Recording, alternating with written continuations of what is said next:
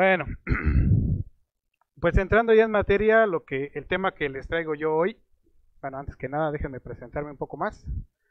Ese soy yo, eh, Alex Callejas, yo trabajo aquí en Red Hat, soy eh, Senior Technical Support Engineer, eh, estoy dedicado a la parte de OpenStack, solamente atiendo a tres cuentas, pero son cuentas muy demandantes que tienen un nivel de servicio muy alto.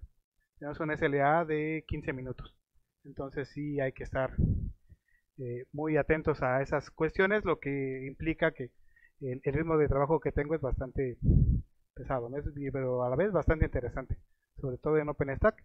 La versión 14 ya viene, la mayoría ya viene todo en, contenedores. Y bueno, ahí están los, eh, mis contactos para redes sociales, el Twitter, eh, mi blog, un pequeño blog que sigo, el Silo Postly, y ese blog tiene también una página de Facebook, si quieren igual seguirla ahí, Ahí me encuentran, ¿no? Este soy yo. Y bueno, ¿qué vamos a ver el día de hoy? Al día de hoy eh, vamos a ver un poco de eh, cómo hacer un laboratorio para contenedores. Eh, todo esto nace porque en algunas ocasiones, sobre todo, y aquí el buen Richard no me dejará mentir, cuando regularmente nosotros Linuxeros queremos hacer algunas pruebas con cuestiones nuevas o algo que queramos aprender, a veces, la mayoría de las veces batimos nuestro sistema como me pasó a mí con Python, con, el buen Richard. Entonces de ahí eh, empecé a hacer eh, mis pruebas, mis laboratorios de una forma diferente, ayudándome principalmente de KVM para generar máquinas virtuales y en esas máquinas virtuales ya poder hacer y deshacer todas las pruebas que yo necesitaba. Entonces en este caso, y como se acaba de liberar apenas eh, la biblioteca libpod, que ya le incluye Fedora 29, que en este caso es Podman, que es una alternativa a cómo manejar eh, contenedores con Fedora, ¿no? Y obviamente la construcción de estos, eh, de estos contenedores se lleva a cabo de otra herramienta también open source, también incluida en, Fedora, que es eh, Builda, ¿no? Que es una herramienta, pues, dice, ¿no? De, para la creación de imágenes de contenedores del tipo OSI, de la Open Container Initiative, ¿vale? Entonces, ¿qué es lo que vamos a hacer hoy? esperemos que el ancho de banda nos aguante. Entonces, Supongo yo que, que sí va a estar un poco medio lento. De todos modos, eh, yo voy, eh, aparte de muchas gracias a, Luis por ayudarnos con el streaming, vamos a, grabar esta sesión. Eh, además, les vamos a proporcionar la presentación que viene paso a paso detallado. Durante la charla lo que voy a hacer es que les voy a demostrar cómo se hacen las cosas, pero ya si lo quieren ver con calma, en la presentación lo van a poder tener. Y además, para aquellos que ya me sigan en, mis redes sociales en el blog, acabo de publicar el domingo una herramienta que graba toda la sesión de la terminal. Entonces también les voy a pasar ese, ese archivito, el T-Log, para que lo tengan y puedan reproducirlo cuando, cuando ustedes gusten. ¿Vale? Exacto, de hecho ahí se graba también mi contraseña porque es un, es un keylogger. Pues, ¿Vale? Entonces, básicamente es eso, es como hacer un laboratorio de pruebas eh, tal vez no sea yo el experto en contenedores, para eso tenemos al buen Iván, que es el, expertazo. La verdad es que yo he hecho pruebas y ha quedado bastante bien. Me ha gustado cómo, cómo se maneja Podman eh, como una alternativa, al menos a mi punto de vista, que llevo conociendo las dos herramientas más o menos al mismo tiempo, es más ligera y más sencilla que, Docker, ¿no? Entonces, eh, en mi caso, mi configuración que yo tengo es, eh, yo tengo Fedora 28, eh, tengo, tengo un poco de fobia a los números nones, y son de algunas de las cosas medio raras que tengo, este, no me gustan los números impares, entonces eh, para cambiar a Fedora, para cambiar mi sistema operativo me voy a esperar hasta Fedora 30. Algunas cuestiones hay mentales medio raras que, tiene, que tiene una a veces, ¿no? Y bueno, y eh, yo tengo KVM y lo que ocupo son las imágenes para cloud. Las imágenes que ya nos proporcionan, por ejemplo, para OpenStack, eh, la mayoría de las distribuciones ya nos presentan una imagen eh, de tipo cloud y esa ya nos viene con un sistema operativo ya precargado, ligero, el cual nos ayuda mucho a tener este tipo de laboratorios de una forma muy rápida. ¿Vale? Entonces, ¿cuáles son los prerequisitos? Pues obviamente que nuestra máquina pueda correr virtualización. En este caso, que nuestro procesador tenga las extensiones necesarias, que son SBM para las clases de los tipos Intel y BMX para los, los AMD. ¿Vale? Entonces, básicamente eso, lo, normal. ¿Qué paquetes vamos a instalar? Eh, eh para KVM, el emulador para el kernel. Eh, Manager para administrar las máquinas virtuales de forma eh, gráfica. VirViewer, eh, LibGuest eh, FS para las herramientas, VirtInstall, eh, Genesis Image y más o menos ocupamos un almacenamiento en este punto de montaje de 5 a 10 gigas, más o menos. Yo la verdad es que estas imágenes a veces son demasiado pequeñas, 200, 100 megas, entonces es muy sencillo y podemos tener n cantidad de, de, versiones de laboratorio. ¿Vale? Entonces, eh, si alguien lo está instalando, bueno, vamos a, eh, esperemos que no se nos corte mucho el ancho de banda. ¿Vale? Entonces, empecemos por algunos conceptos, ¿no? ¿Cuáles son las diferencias entre las máquinas virtuales y los contenedores? Básicamente, una máquina virtual aísla todo el hardware, o sea, tenemos un sistema operativo completo. Esto es dependencias, eh, librerías, aplicaciones, etcétera, lo tenemos completo en una máquina virtual. En cuanto en un contenedor solamente aislamos un proceso. En, estricto sentido, eh, se dice que el contenedor solamente contiene el proceso que maneja más las librerías que ocupa y nada más, ¿no? Entonces por eso un contenedor es más pequeño, no ocupa todo el sistema operativo y una máquina virtual ahí nosotros podemos hacer un poco más cosas, ¿no? Entonces eh, en una máquina virtual lo que tenemos es el aislamiento de la máquina virtual es el sistema operativo completo tenemos cómputo estático, se puede manejar independientemente completamente y eh, memoria estática y alto uso de recursos, ¿no? O sea, son como que una de las desventajas, ¿no? Que tiene la máquina virtual siempre nos va a ocupar más memoria que obviamente un procesador. En el caso de los contenedores, el, aislamiento de los contenedores, pues el kernel es compartido, porque como no es el sistema operativo completo, ocupa el mismo kernel que tenemos en nuestra máquina host, ¿vale? Se puede escalar, podemos crear varias versiones de la misma, del mismo contenedor y obviamente pues también podemos decirle y ajustar la memoria conforme la necesite, ¿no? Entonces aquí podemos nosotros tener desde un bajo uso de recursos hasta todo el, el, el, monto de recursos que nosotros ocupemos para, para dicha aplicación. Mande.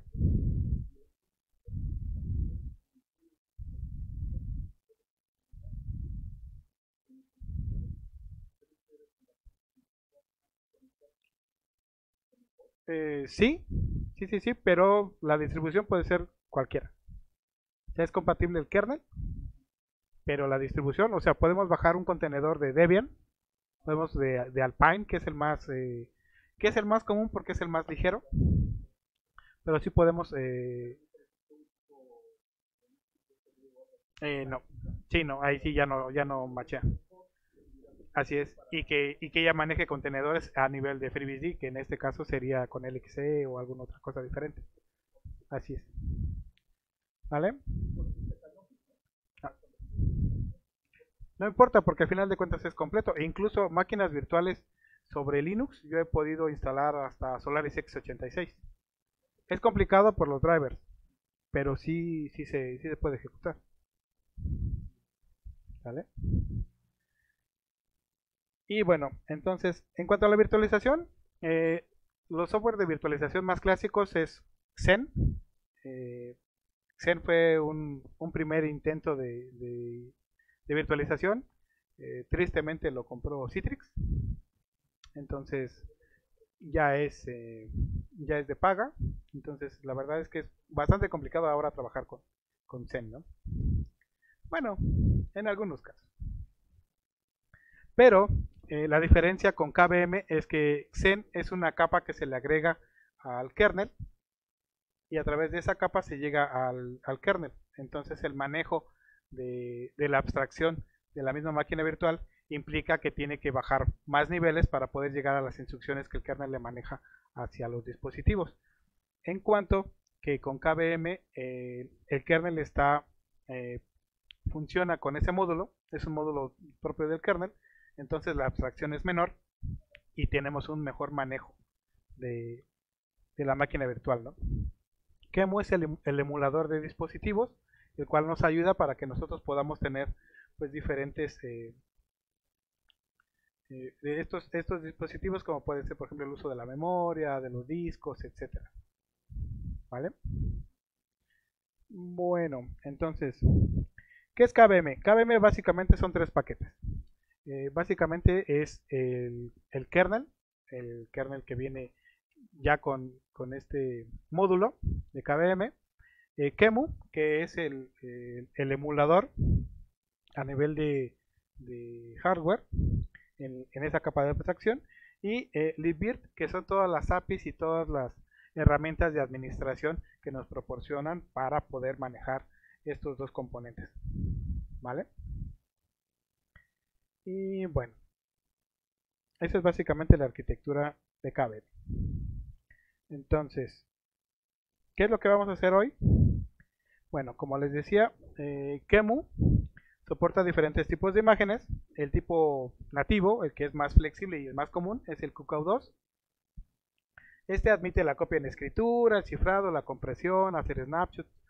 Eh, la verdad es que nos ayuda bastante, ¿no? Entonces, la forma más sencilla de obtener una máquina virtual que funcione con KVM es descargando la imagen de alguno de que alguien más haya ya creado para que nosotros la podamos trabajar. Por ejemplo, podemos tener las imágenes basadas en Fedora, Fedora Cloud, eh, las máquinas que, que nos eh, proporciona Atomic Host, que son máquinas ya preparadas para manejar contenedores de forma nativa. Y en el sitio donde pueden encontrar muchísimas diferentes versiones de sistemas operativos, que es OpenStack.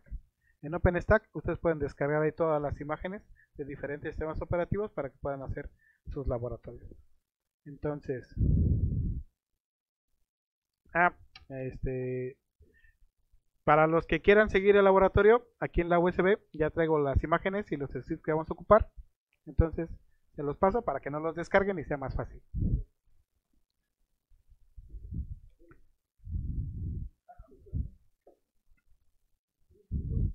Híjole, qué pena. Ah, si, si tienes, si tienes Windows, en cierto momento de la plática vamos a hablar de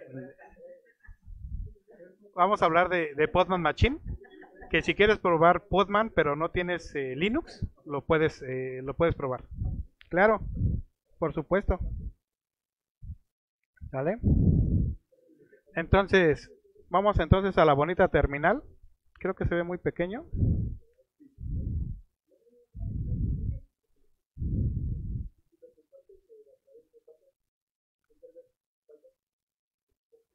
Eh, mm, sí. No, la USB es rápido. No preocupancia. ¿Ahí se ve bien? Sí. Bueno. Entonces,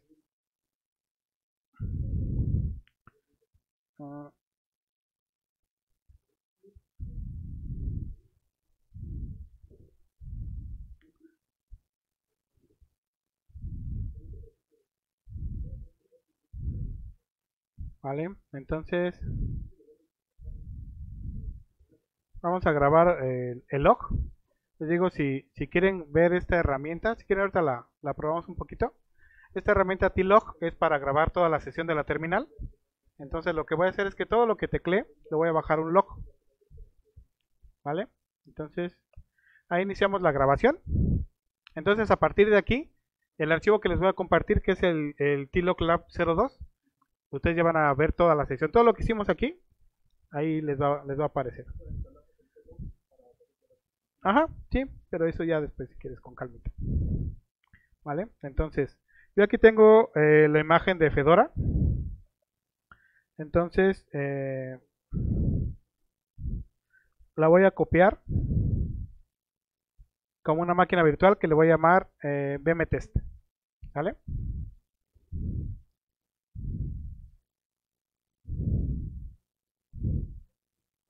Ahí lo que me está pidiendo el sudo obviamente es mi contraseña, pero en el log ustedes van a ver que no se incluye. Este directorio es donde se alojan las imágenes que busca KBM. ¿Vale? Sí. Sí, este.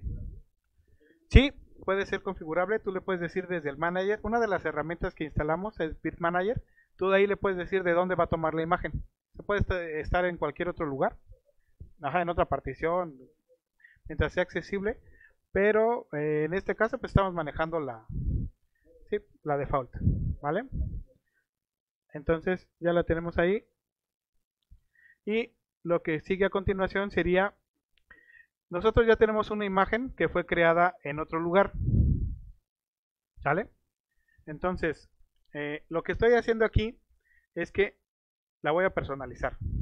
¿Qué es lo que voy a hacer? Número uno, le estoy diciendo dónde está el disco, ¿no? Le estoy diciendo dónde está el disco. Vamos a ver este disco. Vamos a ver cuánto mide de inicio, ¿no? La imagen mide 294 megas. Es una imagen muy pequeñita, ¿no? ¿Vale? Entonces, por default, esta imagen ya viene grabada con un particionamiento de file systems particular. Digamos, probablemente sea de, 10 gigas en raíz o 10 gigas en, home, etcétera, ¿no? Si yo quisiera modificar eso, tendría que modificar la imagen base, la imagen original. Entonces lo que tendría que hacer es hacer una copia, esa copia decirle que el layout de los file systems sea diferente y luego hacer una copia basada en esa copia que ya incluiría el espacio que yo necesito. En este caso, para nuestras pruebas, con el espacio que trae original es suficiente. Pero si, quisiéramos hacer eso, eh, podríamos hacer este, hacerlo más grande. Entonces, de ahí le digo cómo se va a llamar la máquina. Aquí ya le estoy seteando el hostname. ¿Vale? Le estoy diciendo qué contraseña de root es la que quiero que tenga la máquina. Ajá. Le, voy a decir que a ese usuario, a root, le inyecte eh, una, mi llave pública para que cuando me conecte por SSH ya la traiga. Y algo, algo de que tienen las imágenes, eh, digamos, de OpenStack y la mayoría de las imágenes de cloud trae muchas herramientas del tipo Cloud Init. ¿Por qué? Porque están pensadas para nosotros usarlas en, este tipo de, almacenamientos como OpenStack, como AWS, las cuales tienen algunas cuestiones que son escalables, que se ponen los, eh, el hostname numérico y va incrementándose, etcétera. ¿no? Se trae, trae muchas herramientas, pero para nuestro caso práctico, para el laboratorio, esas herramientas van a hacer que nuestra imagen tarde más en cargar. Entonces, lo que le voy a decir es que no quiero las eh, no quiero ese paquete quiero que me lo desinstale y al hacer esa desinstalación como voy a tocar algunas cuestiones de red algunas cuestiones de configuración etcétera entonces lo que necesito es decirle que retiquete todos el Linux de nuevo ¿por qué? Porque si ustedes le quitan el paquete de CloudInit y no, no retiquetan todo el sistema cuando arranque no le van a poder dar IP a pesar de que deshabiliten ese Linux y a pesar de que eh, levanten otra tarjeta, otra interfaz de tarjeta de red, si no eh, retiquetan, no va a levantar. La mayoría de las imágenes eh, basadas en Red Hat, Fedora, CentOS y sobre todo las, las REL, vienen de esta manera. Entonces, para que sea más sencillo, le decimos que lo vuelva a retiquetar. ¿no? Entonces, lo que vamos a ver ahorita es que el Customize examina, eh, el disco y empieza a hacer toda la personalización que nosotros eh, le solicitamos. En este caso, yo lo que le estoy diciendo es que me lo haga de forma verbal para que ustedes vean cada uno de los pasos. Pero realmente yo le podría decir menos menos quiet para que lo hiciera de forma silente y no viéramos todo esto, ¿no? Por ahí estamos viendo que está examinando el disco, le está creando su propia semilla para las llaves. Eh, le setea el nombre de la máquina y luego le inyecta la llave, le desinstala los paquetes, setea los, eh, los, los passwords y ahorita está reetiquetando eh, Linux en todo el sistema. Y ya terminó. Si nosotros le hubiéramos dicho, ¿sabes qué? Aparte de esto, quiero que le instales este paquete o este paquete, este paquete, lo que veríamos es la conexión a internet y cómo descarga todos los paquetes necesarios y todo lo que nosotros le pedimos. ¿Sale? Bueno, entonces, una vez que ya la tenemos personalizada nuestra imagen, lo que necesitamos es instalarla. Entonces, para instalarla, yo le voy a dar un virt install y le voy a asignar un nombre, un nombre dentro de mi virtualización, un nombre con el que yo le voy a identificar. Este no es el hostname de la máquina, es un nombre eh, para identificarla nada más. Y aquí ya le estoy seteando ya sus características. Le voy a dejar un giga de memoria. Son pruebas, no necesito más. Un virtual CPU. El disco es la imagen que acabamos de personalizar. Y le digo que ese disco me lo importe. ¿Vale? Y la variante que estoy ocupando de sistema operativo aquí es Fedora 29. ¿Vale?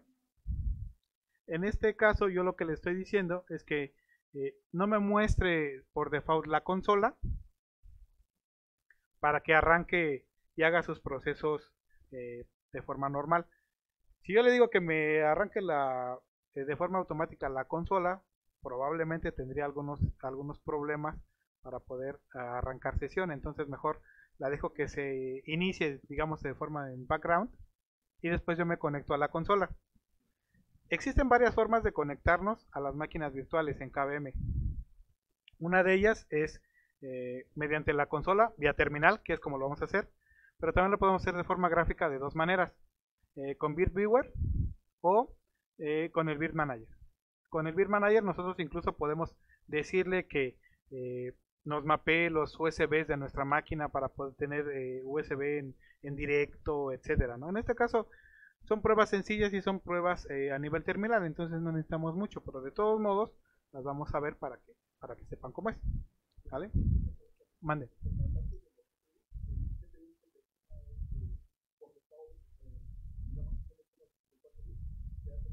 Sí, sí, sí. sí.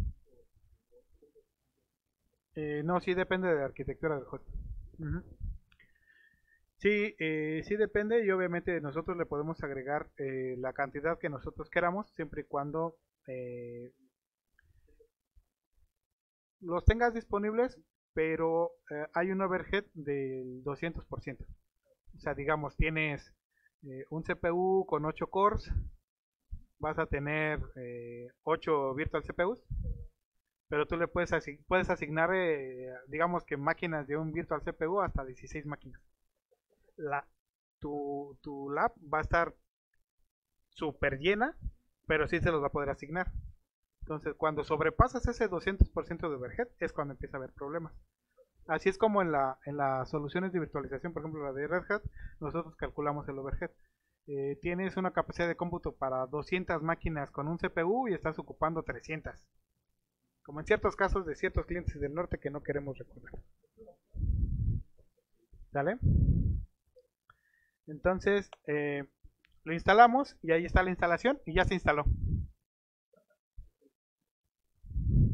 Entonces, si yo quiero entrar a la consola, mande.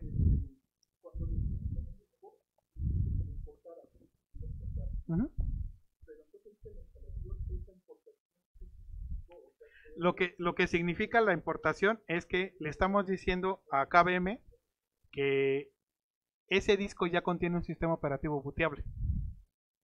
En otro caso, si tú quisieras, por ejemplo, crear una máquina virtual nueva, vacía, le tendríamos que decir, eh, genero el disco QCOW2 vacío, pero le digo cuál es el, disco de arranque, cuál es el, boot, eh, el boot ISO.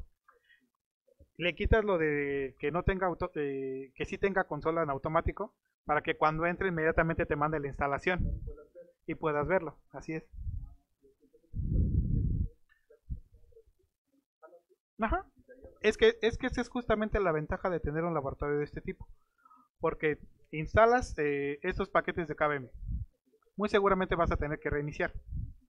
Pero reinicias tu lab, eh, arranca KVM, bajas un disco de 200 megas y con tres comandos ya tienes una máquina virtual de otro sistema operativo funcionando aquí en la consola. Y aquí está. Esa es la consola. Ajá. Entonces, aquí eh, el usuario es root y la contraseña es la que yo le seteé. Y ya estamos aquí adentro. En un Fedora 29. es la consola, porque si yo incluso le doy reboot, lo que voy a ver es todos los servicios y todo el hardware que se apague y que se prende. Esto, por ejemplo, es muy útil cuando nosotros tenemos algunas pruebas con sistemas operativos y con drivers en particular, porque ahí podemos ver en qué momento se detuvo. Si nosotros analizamos todo el arranque, ahí podemos ver toda la inicialización del hardware. O sea, esta es la consola. Sí, sí, sí, la consola. La consola directa. Yo, por ejemplo, eh, bueno, vamos a hacerlo de otra manera. Para salirnos de la consola es con control 5 y ya nos salimos de la consola. Yo quiero, por ejemplo, saber eh, cuál es la IP para conectarme por, por SSH. Eh, otra de las formas en las que puedo abrir la consola es con el BitViewer. Y aquí lo que me va a abrir es la consola.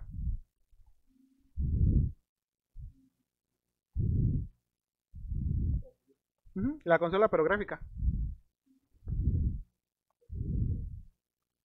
¿Ande? No. Es Spice. Sí, es más ligero que BNC y no necesita un servidor. Es de forma nativa. Entonces, aquí ya vi que es la, la 150. Se alcanza a ver aquí abajo. ¿Vale? Entonces, este BitViewer yo también lo puedo lo puedo abrir desde el Beer Manager.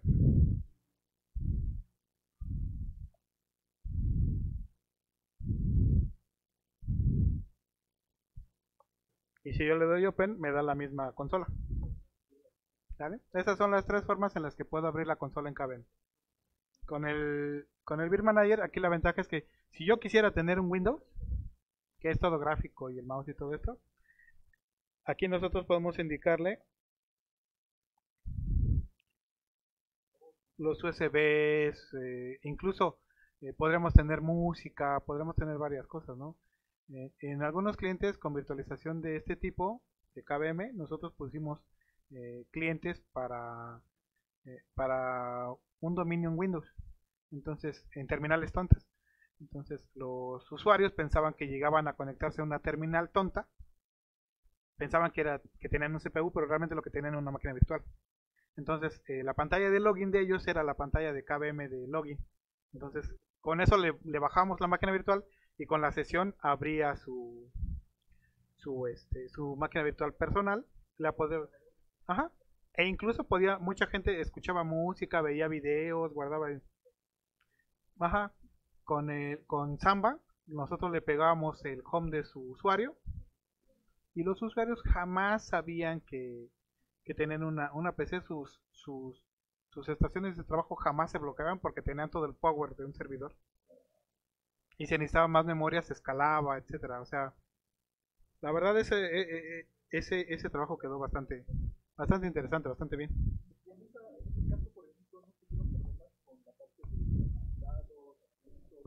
No, no, lo, sí, lo configuras nada más y se mapea. Sí, sí, sí.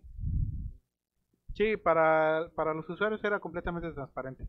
Si ellos llegaban a su estación, se firmaban y tenían su Windows, veían videos, se grababa la sesión y pensaban que eh, no nadie los veía. Era bastante divertido.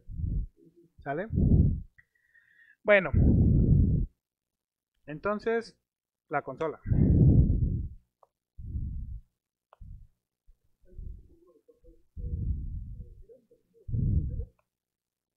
Ya vamos a ver eso.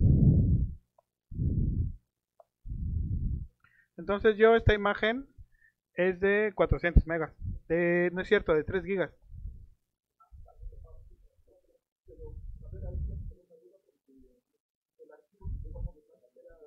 Eh, sí viene en Team Provision. O sea, el disco te puede ocupar hasta 3 gigas, pero está en su versión mínima de 200 megas. Gracias. Entonces, este, esto da bastante flexibilidad porque el usuario piensa, bueno, tengo 50 gigas de espacio, pero realmente está ocupando 500. ¿No? Esa administración de almacenamiento. Sí. por, por Viscon. Sí, sí, ahorita vamos a entrar por SSH para que ya se vea más normal la cosa, ¿no? O sea, la idea de, de entrar por la consola es simplemente guardar todo el inicio, todo el arranque, para ver dispositivos y, y como tenemos la otra herramienta grabando todo lo que pasa en la terminal, pues podemos tener ahí un récord bastante interesante de lo que hacemos y de lo que sucede. ¿Vale? Si yo quisiera hacerla más grande, la, la imagen, agregarle más espacio, tendría que, una, tendría que apagarla y tendría que la imagen base decirle que me haga otra imagen de, por ejemplo, esta mide 3, a lo mejor de 30, ¿no? Agrégale 27 gigas. Y a esa imagen crear otra imagen. Lo que pasa es que el salto no es directo. Entonces a la otra imagen le dices que ya que se expanda, entonces ya se expande. Y cuando la, la ya la checas, ya mide eh, los 30 gigas. Ajá, mira, por ejemplo.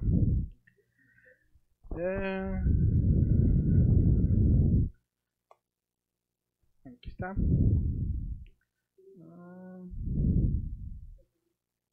eh, yo mi, mi blog que tengo, eh, de lo Postly, está alojado en una máquina virtual que está en Digital Ocean de 30 gigas.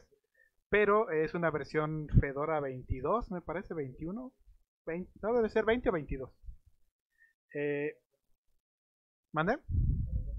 Sin fargo al enfrente. Este, pero eh, yo estoy haciendo pruebas para todo lo que tengo en mi blog, tenerlo en contenedores. Ahorita van a ver cómo. O sea, de hecho, ese es el ejemplo, ¿no? Mi propio blog. Entonces, lo que hice fue eh, bajar la imagen bajar la imagen, la imagen base, personalizarla como me la entrega Digital Ocean y empezar ahí a hacer pruebas. Cuando ya termine y yo ya esté satisfecho con cómo quedó la máquina, entonces lo único que voy a hacer es que todo el contenido lo voy a subir.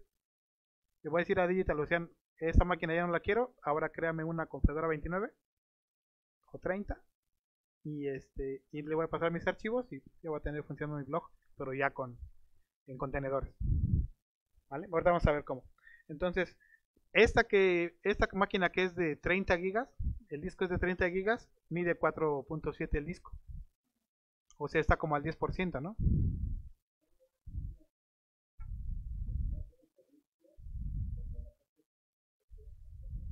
¿Mm?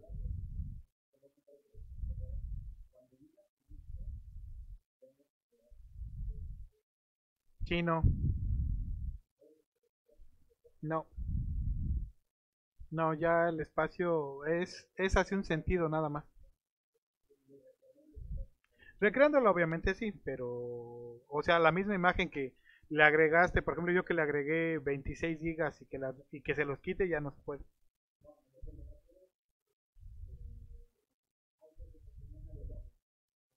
¿Mm?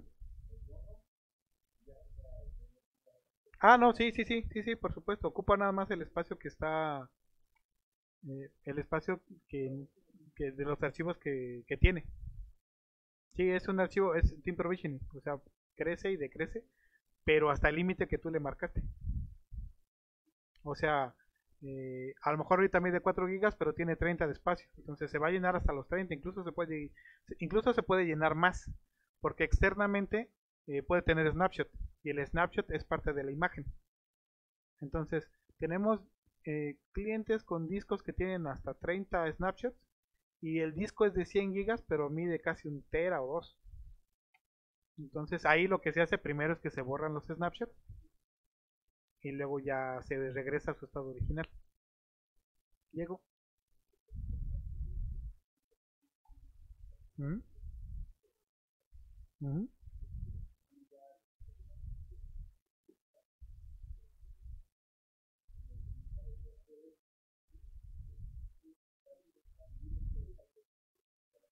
No, ya cuando está... E, es una máquina virtual que ya tiene un disco cerrado. O sea, este disco va a ser de 30 gigas. Si quieres que si quieres agregarle a tu espacio puedes agregarle otro disco e internamente con LVM hacerlo expandirlo hacia el nuevo disco, hacia el physical device, ¿no? Al physical volume. Pero eh, el archivo como tal, este es un archivo QCOW2, eh, mide 4 gigas, yo lo puedo bajar a memoria de 8 y me lo llevo sí es portátil, no tanto como los contenedores, pero sí es portátil, ¿no? O sea, eh, lo que nosotros hicimos con aquel cliente que les cuento es que hicimos una imagen QCOW 2 y esa la, la llevamos en una USB. Incluso algunas imágenes hasta por correo pasan. Son muy pequeñas algunas. Por ejemplo, las de CoreOS, las nuevas que vienen, son muy, muy, muy pequeñas.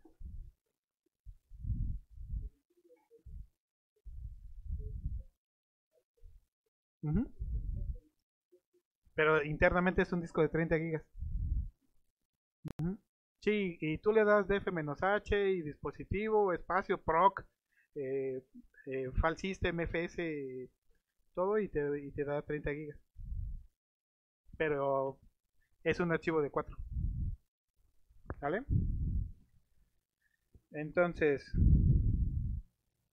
pues aquí en la presentación viene todo esto que hicimos, todos estos pasos, de configurar la máquina virtual, importarla, eh, cómo abrimos la consola, eh, algunas otras cosas como listarla, mande. Es imagen de cloud. Sí, ese es el, ese es el único detalle. Es imagen de cloud, es imagen, no es imagen de sistema operativo, o sea, le hace falta muchas herramientas. Ahorita vamos a ver, por ejemplo, no trae este, las NetTools, no trae wget, o sea, no trae varias cosas, pero sí, sí, sí es funcional.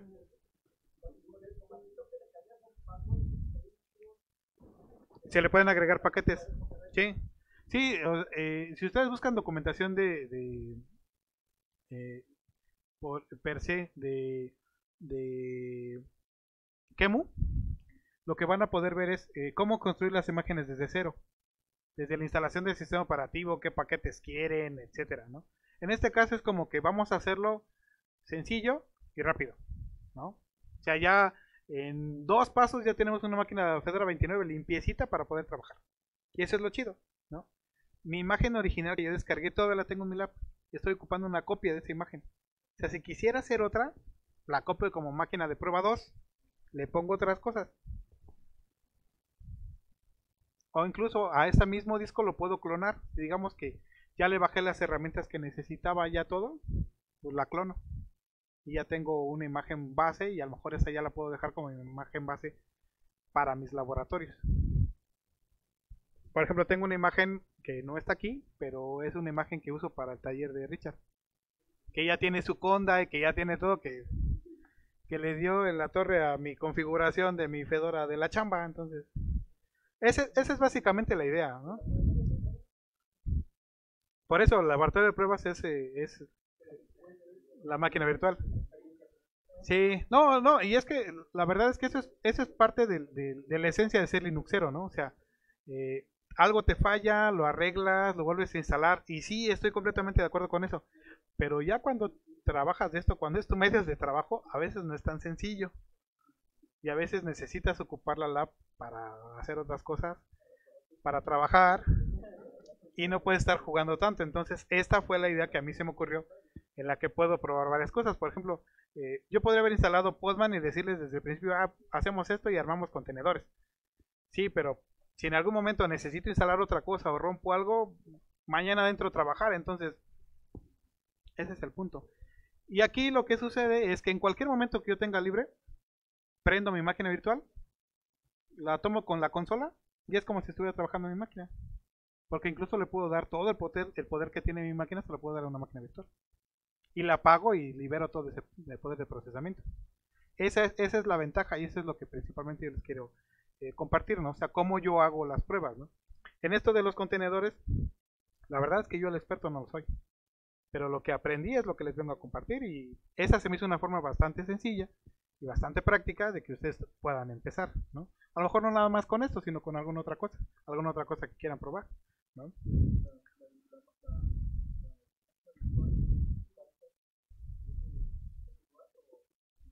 No, luego te la paso si quieres. Entonces, eh, ah, yo puedo ver eh, las máquinas que tengo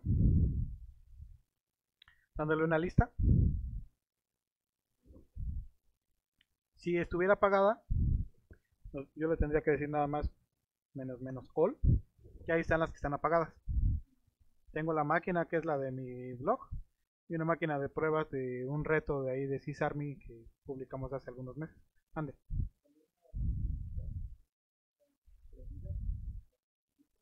¿Mm?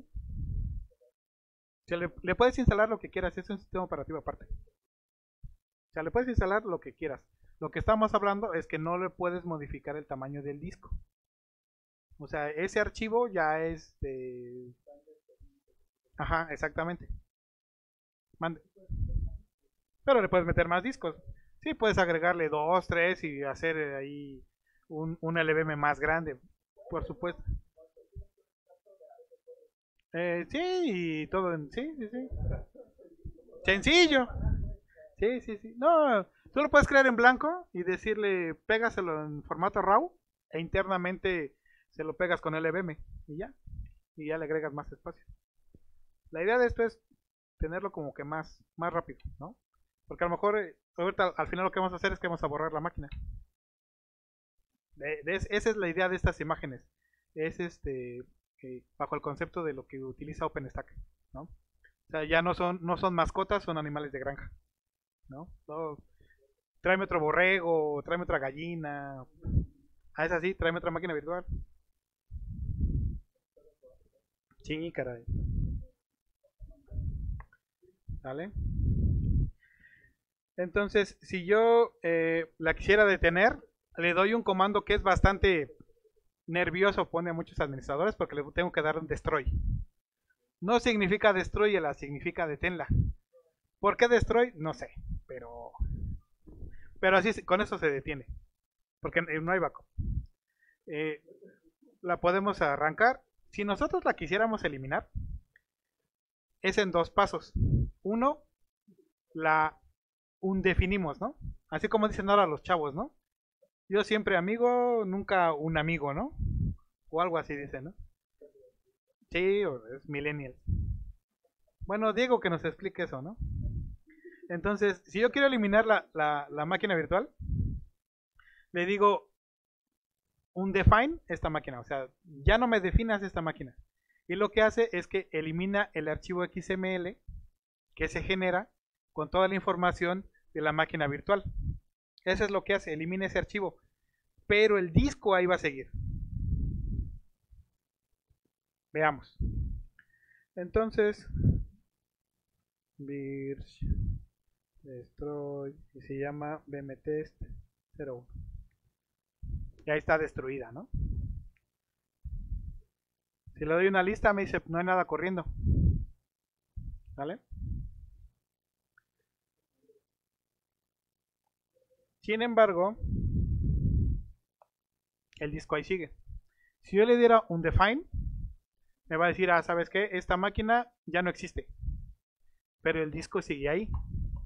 Porque lo único que se eliminó fue el archivo XML, que definía eh, la máquina virtual. Haciendo esto, ya. Se elimina. Entonces, eh, para nosotros borrar una máquina virtual, eh, para eliminarla tenemos primeramente que darle un, define y después, si lo queremos, eliminar el disco. Es posible reutilizar ese disco si tú lo le haces el undefine. Es que no, decirlo, no sé decirlo en español. Si lo desdefines, undefine le quita. Es que sí, es que es diferente, ¿no? Pero Si, lo, si, lo, si, ya no lo, si ya no lo defines, si lo haces indefinido, gracias chicos. Si lo haces indefinido, puedes eh, incluso apagado, porque encendido, encendido no, no hay la garantía de que funcione. Pero la máquina virtual apagada, en cualquier momento, aunque, aunque esté definido, ¿no? Tú lo puedes copiar en cualquier lado, en una USB, etcétera, y llevarla a otro KVM e importarla. De hecho, muchos clientes nos preguntan porque no viene per se en la documentación de Red Hat. Oye, ¿y cómo hago respaldo de mis máquinas virtuales?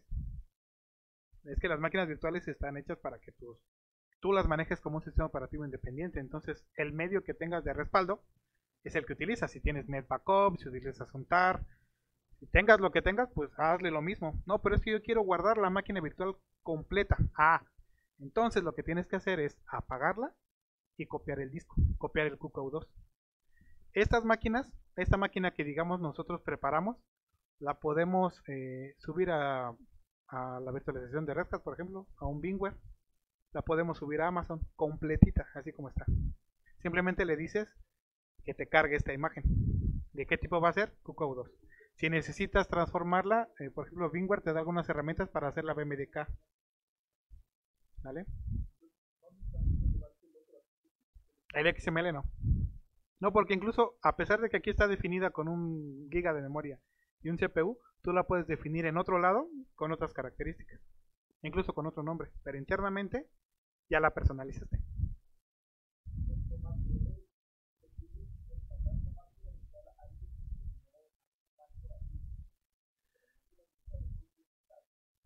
Uh, sí, pero lo que se refiere generalmente es a guardar la información que ya contiene. Porque mucha gente, en lugar de hacer templates, quiere, quiere hacer un clon de la máquina virtual. O sea, no, no, no, como que no digieren todavía el concepto de lo que es la virtualización. Porque en teoría sí debería de ser lo mismo, ¿no? O sea, la máquina virtual no me sirve, ¿no? Es como un contenedor, no me sirve, tráeme otro, ¿no? Ajá. Es, es todavía el, digamos que las cuestiones tecnológicas de nuevas ideas que a mucha gente que, que por supuesto Sí, no, a, a, mí muchas veces me preguntan, oye, ¿cómo respalda el sistema operativo? Hazle un tar al ETC y con eso. ¿Por qué? Porque el kernel lo vas a encontrar en cualquier otro lado, ¿no? Si quieres guardar tu configuración, eh, respalda etc, ahí viene todo, ¿no? Exacto, mande.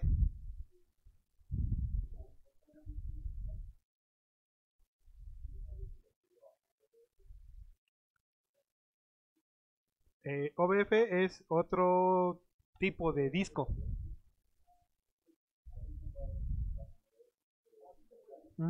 Sí se puede, pero necesitas hacerle una, una conversión. E incluso hay virtualizaciones, por ejemplo, que si te soporta otros tipos de discos, aunque se recomienda que utilice el modo nativo.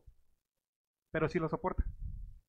Pero lo mejor es usar el modo nativo porque no se garantiza que sí la, la compatibilidad o la integridad de los datos. Porque cuando lo haces una conversión, al final de cuentas estás trasladando de un idioma a otro y estamos como ahorita con el undefined, ¿no? No se garantiza que signifique lo mismo. Pero sí, o sea, tú este QCOW 2 se lo puedes pasar a un administrador de Bingware y ellos lo suben al, al Bingware productivo y, y ya está. Y ya se truena, como dice Rulo. ¿Vale? Bueno, ese es en... ¿Alguna otra duda con las máquinas virtuales? Está sencillo, ¿no? Está rápido, ¿no? La verdad es que eh, mucha gente me dice, es que oye, lo quiero, quiero probar CentOS, quiero probar el nuevo Fedora, quiero probar esto. Cabeme, bájate una imagen de, OpenStack de volada. De volada lo pruebas. Te tardas, se tarda más en descargar que en lo que hacen. Digo ahorita porque se los estoy explicando y todo esto, pero realmente me tomaría dos comandos subirlo.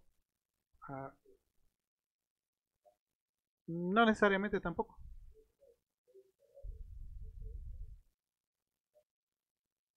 Depende de tu máquina. Ah, no, me, cuando digo las imágenes de OpenStack, no me refiero al OpenStack. Me refiero a las máquinas virtuales, a los guests. Sí, para correr eh, OpenStack, OpenStack es un monstruo. Necesitas muchísimo fierro y ahora que estoy en este grupo de OpenStack de soporte, incluso con mucho fierro da mucha lata. O sea, sí está...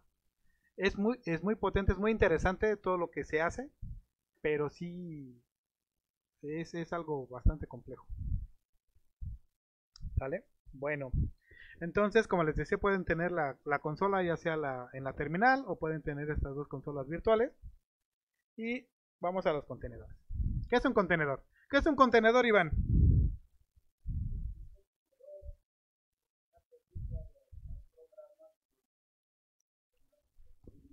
Aislar programas. Exacto. Es Wikipedia. Bueno. Vamos a para darles una definición así más, más ligerita, un contenedor, imaginen, es la unidad de cómputo más pequeña. Lo, sí, lo, lo, lo mínimo que se puede, es que en español se escucha muy feo, computar. Lo mínimo que, que se puede procesar, ese es un contenedor. O sea, puede ser un proceso con una librería y un archivo. O sea, lo mínimo, o sea, lo mínimo, lo mínimo, ese es un contenedor. ¿Vale? Los contenedores se crean de la misma forma como lo hicimos ahorita y también por eso es eh, fue con esa intención de que vieran que bajé la imagen, pero esa imagen que bajé no la utilicé, sino que la copié. Los contenedores es lo mismo, más pequeño. Los contenedores se crean a partir de imágenes, imágenes que ya vienen prehechas. Vamos a hacer exactamente lo mismo. Cuando trabajamos con contenedores hacemos lo mismo. Descargamos una imagen que ya viene prehecha y le agregamos o le quitamos cosas. También las podemos construir desde cero, por supuesto. ¿Vale? Y eh, estas imágenes de contenedor se almacenan en un registro de imágenes que a su vez contiene muchas versiones de lo mismo, del mismo contenedor. Por ejemplo, aquí en este registro tenemos un frontend que viene eh, la versión 1.0, la versión 1.1, la versión 2.0 y una versión que se llama la última. Y esta versión siempre va a apuntar a la última versión que tenga en este árbol, ¿no? En este caso, si yo pido la latest, ¿cuál me va a dar? La 2.0, ¿no? Entonces, esto me da la oportunidad de que si yo quiero una versión en particular, porque dice el desarrollador que solamente en esa versión funciona, entonces ponerle la versión que él me pide, ¿no? Y ya no tenga que afectar a todo sistema operativo, ¿no? Esa es la versión que tú necesitas, ahí está. ¿Vale? En este caso del Mongo tenemos lo mismo, ¿no? Diferentes versiones y un latest, ¿no? Ese es el registro. Es un almacenamiento en algún lugar que, tiene diferentes versiones de cada contenedor. ¿Vale? Entonces, y aquí es donde, donde empezamos la pelea con el otro meetup. ¿Sale? ¿Cómo funciona Docker? Sí, aquí, aquí al lado. Te lo juro. Asómate, asómate. Bueno. Bueno. Sí.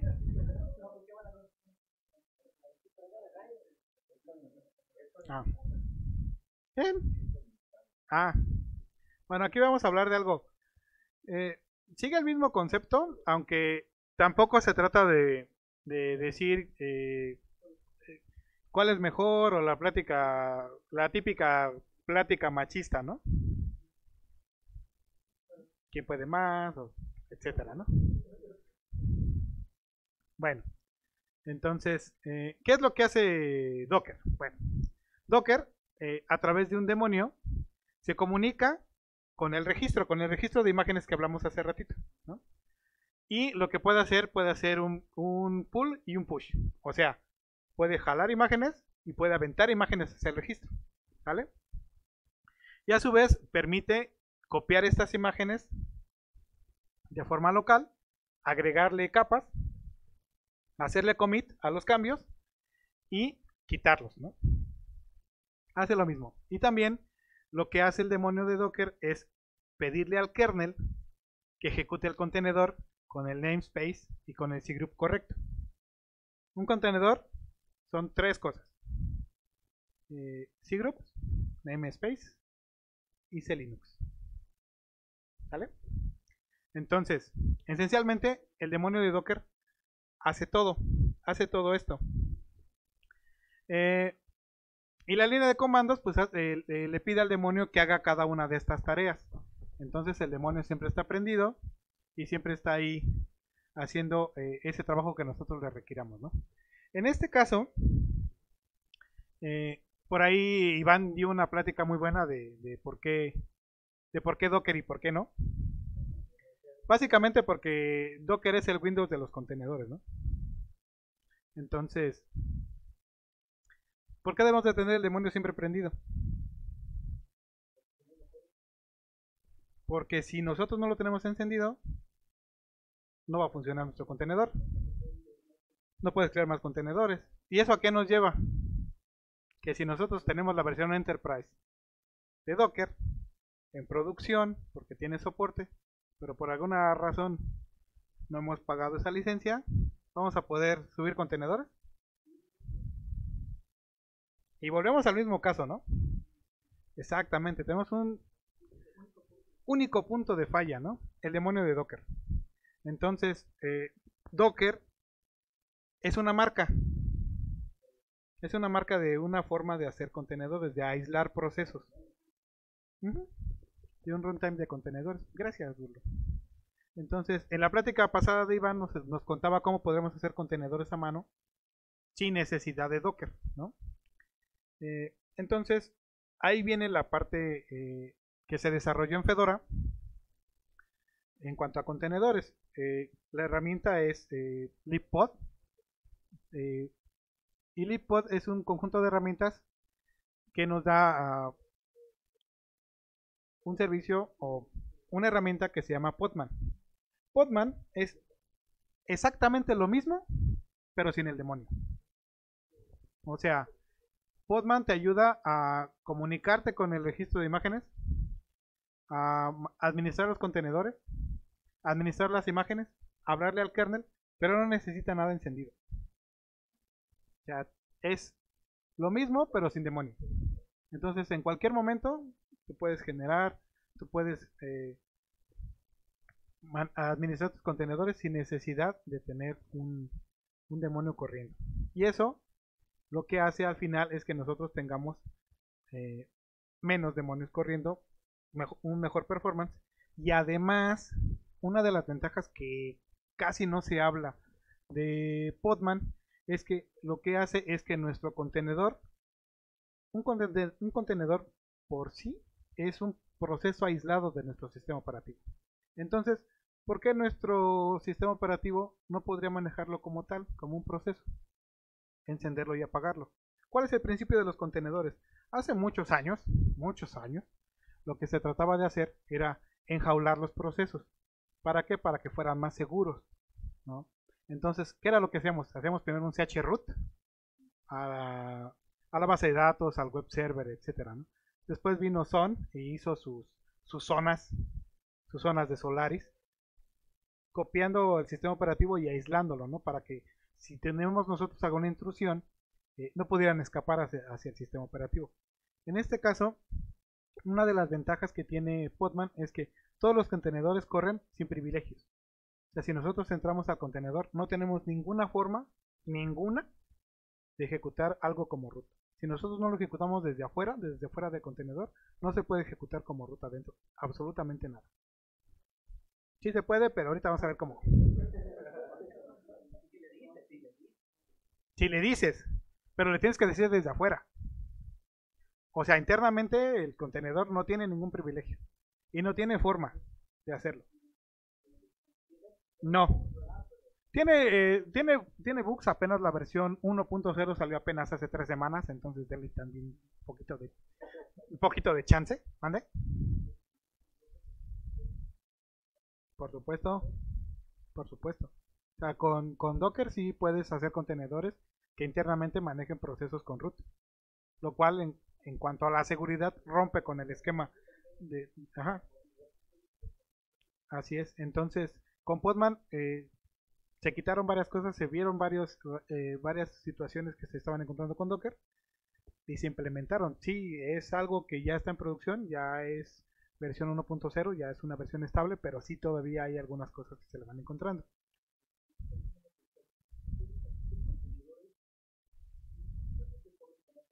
Es un proceso.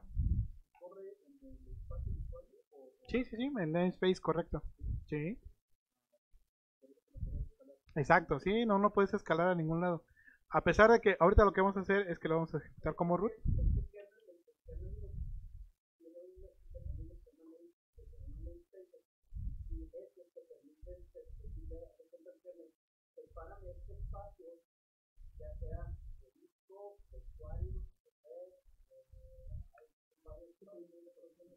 procesos.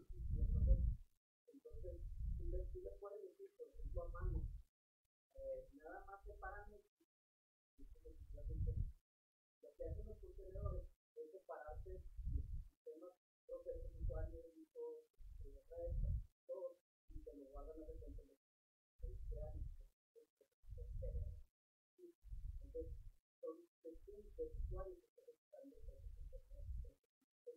contenedores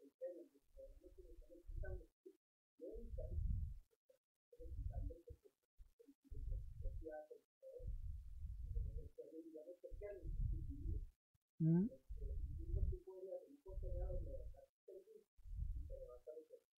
Sí, de- incluso, in- incluso en, en algunas, en algunos casos y en algunas pruebas que hay con Docker, sobre todo checando vulnerabilidades, han podido levantar absolutamente todo un sistema operativo dentro del contenedor, lo cual no queremos, ¿no? O sea, de lo que se trata, y de hecho, como lo anuncia Dan Walsh, que es el creador de, de todo esto, es que es un contenedor pero delgadito, no fat demons, ¿no? O sea, no demonios gordos. O sea, no queremos muchas cosas, sino lo, un- lo mínimo necesario para que pueda funcionar lo que necesitamos. Un contenedor por sí mismo, ¿no? O sea, per se. ¿Vale? Entonces, eh, está incluido en el último Fedora 29. No viene en la imagen eh, que bajamos, por lo mismo, que es una imagen básica, pero lo podemos instalar. Viene en los repositorios eh, básicos y lo que nos incluye es un CLI, una línea de comando, un API, para ejecutar, administrar y depurar estos contenedores y pods. Esto, esto de pods viene como que muy, también está muy ahorita a la moda porque muchos hablan, ¿no? Los pods. ¿De dónde son los pods? De Kubernetes, ¿no? Entonces, pregunta y no lo vamos a responder ahorita, sino como en, uno, en un ratito más. Sabiendo manejar Podman, ¿podremos manejar eh, Kubernetes? No respondan, ahorita vamos a verlo. ¿Sale? ¿Sale? Entonces, ya quieren responder, pero no. Es mejor verlo, ¿no? Listo, entonces, vamos a entrar a nuestra máquina. ¿Qué IP decíamos que tenía? La 150, ¿no? Entonces, la 150.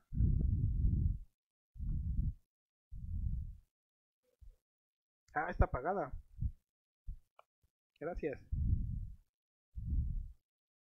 Entonces... No, imagina- imagínate que funcionara así. Híjole.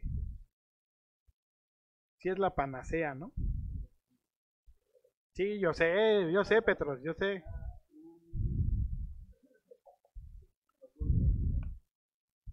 Ahí estamos. ¿Vale? Entonces, df-y, install. ¿Qué le vamos a instalar? Podman, Wilda y Scopeo. Scopio. ¿Qué es? ¿Qué son estas herramientas? Podman es el CLI de Docker, ¿no? Es, es igual, igual que Docker, ¿no?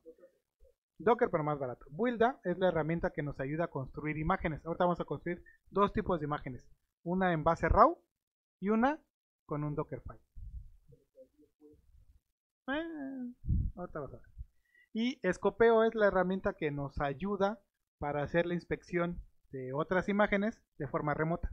O sea, eh, yo quiero hacer, eh, veo que tienen por ejemplo un repositorio con una imagen de Docker, de Fedora con MySQL, ¿no? Entonces con Scopeo voy y le hago la inspección. ¿Se puede también hacer con Podman? Por supuesto. Podman lo que hace es que internamente llama a Wilda para crear las imágenes y llama a Scopeo para, para hacer la inspección. Pero también es bueno conocer cada una de las herramientas. eh. Por eso lo vamos a ver.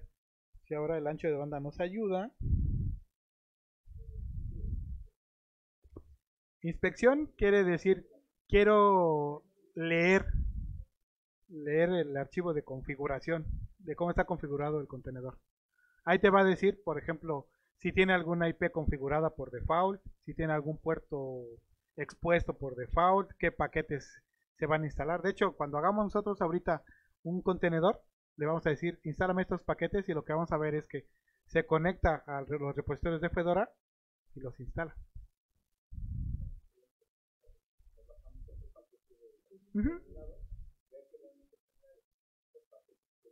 Ajá, exactamente. Sí, eh, con eso eh, en teoría, la idea es que tú revises cómo fue construido ese contenedor. Para que tú, si quieres hacer algo similar, lo puedas construir igual. O quitarle cosas o agregarle cosas. ¿Vale? Bueno, mientras esto pasa, ¿ya pasaron todo? ¿Ya eh, tomaron toda la pastilla? ¿Sí se ve? Sí. ¿Ya? ¿Ya? Pásenselas a Iván.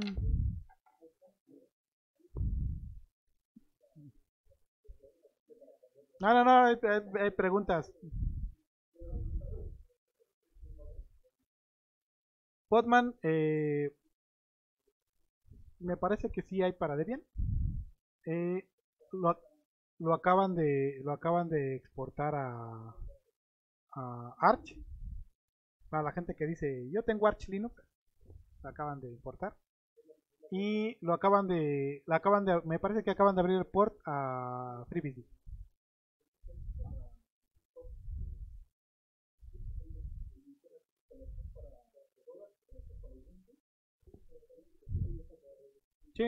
Ya está para Debian.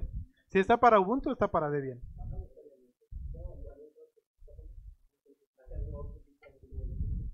¿Vale? Entonces, ya lo tenemos. Ya lo tenemos instalado. Vamos a ver. Déjenme. Es que por aquí ya tenía yo el clásico. Aquí está. El archivo que se llama Chepina Peralta. Porque luego se me olvida. Por ejemplo, aquí está. Aquí. Lo que vamos a hacer es que eh, del registro de Docker, yo quiero examinar eh, el contenedor que se llama Hola Mundo, ¿no? Que es el de pruebas. Si ustedes van a la documentación de Docker, eh, algo de lo que dicen para probar Docker, corre el Hola Mundo. Entonces, con Escopeo, yo he hecho un ojo y ahí veo, ¿no? Aquí es donde viene. O se conectó al, hub de Docker, al Docker Hub, al, al Docker Hub, y ahí lo examinó. Tiene todas estas. No, no, no, la estoy viendo en el. La estoy viendo de forma remota. ¿Sale? Fue creada en esta fecha. ¿Vale? Es una imagen muy sencilla. Sí, exacto. Entonces, esta lo hice con escopeo, ¿no?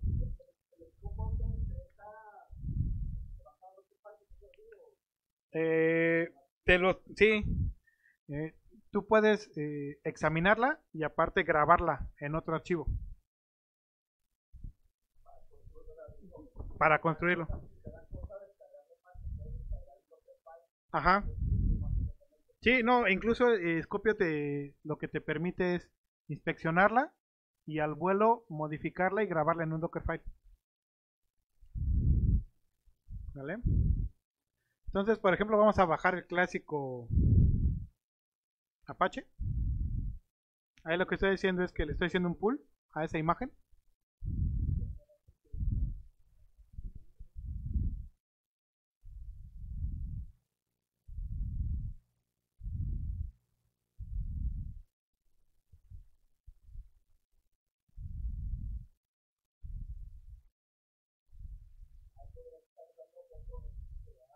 Sí.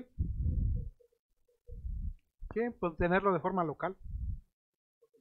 Ahora te estoy ocupando el de Fedora, o sea, el, el problema que se empezó a ver es que, por ejemplo, en, en muchos casos en el de Docker, las imágenes empezaron a subir imágenes medio truculentas, ¿no? Ajá, en, en- en el Docker Hub, ¿por qué? Porque cualquiera puede subir su imagen. En los repositorios de, de Fedora, de Red Hat, de CentOS, pues todas las imágenes están certificadas y están más seguras. Sí, por supuesto.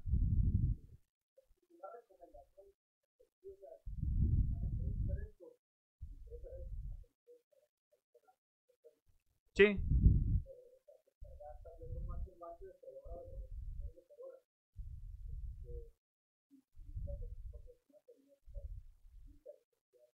¿Mm?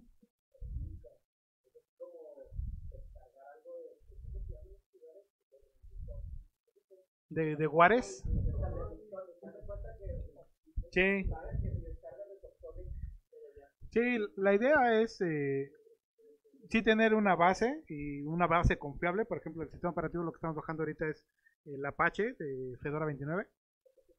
Lo más, este, te da sí, la firma y todo para que tú la cheques contra, pero contra la página, el, registro oficial, ¿no?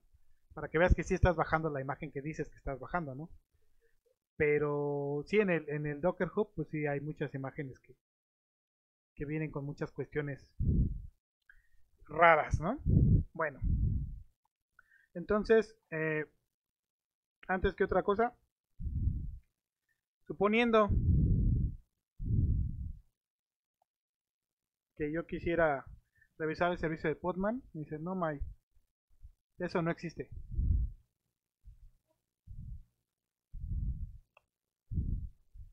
¿Hay un servicio Podman? No.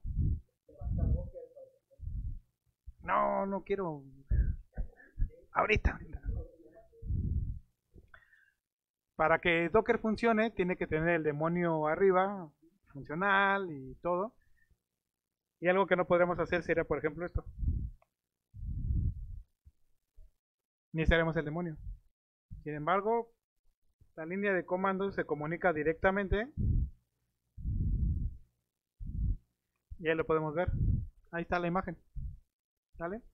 No necesitamos ejecutar nada más. No tenemos nuestra imagen virgencita, virginal, solamente con Podman. ¿Vale? Entonces, vamos a hacerle el inspect, pero directamente con Podman.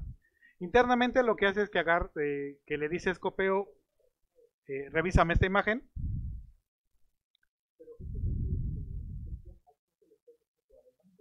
A la imagen que descargué, sí, a la imagen que descargué. Porque lo que le estoy diciendo ahorita, ahorita lo que le di es, eh, y aquí la podemos ver en las imágenes, mira.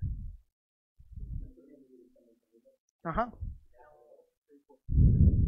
Ajá, o sea, lo que hice fue descargué la imagen. Y le estoy diciendo ahorita, revísame esta imagen que descargué. Lo que hicimos con Scopeo fue, ve a Docker y revísame el, el Hello World. No la descargué, nada más ve y revísala. Ajá, el repositorio a dónde quieres que se conecte, de cuál es el que quieres que revise. En este caso le estamos diciendo inspeccionamela, la que acabo de bajar, la local, y ahí me dice, ¿sabes qué? Estos son sus tags. Aquí están las firmas, las, las llaves cuando fue creada. La configuración, los pads que tiene. Ejecuta Apache 2.4. Y por aquí hay unos datos interesantes. Aquí. Los puertos que está exponiendo por default, esta imagen expone el 880, el 8080 y el 8443. O sea, si yo quisiera que la imagen eh, expusiera otros puertos, se lo tendría que indicar. ¿no? En este caso, por default, estos ya son los que, está exponiendo. E incluso me parece que esta ya me da una IP.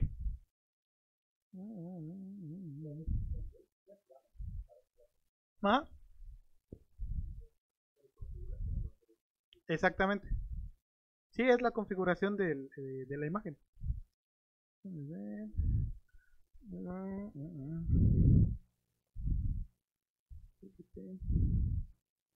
Según yo sí traía.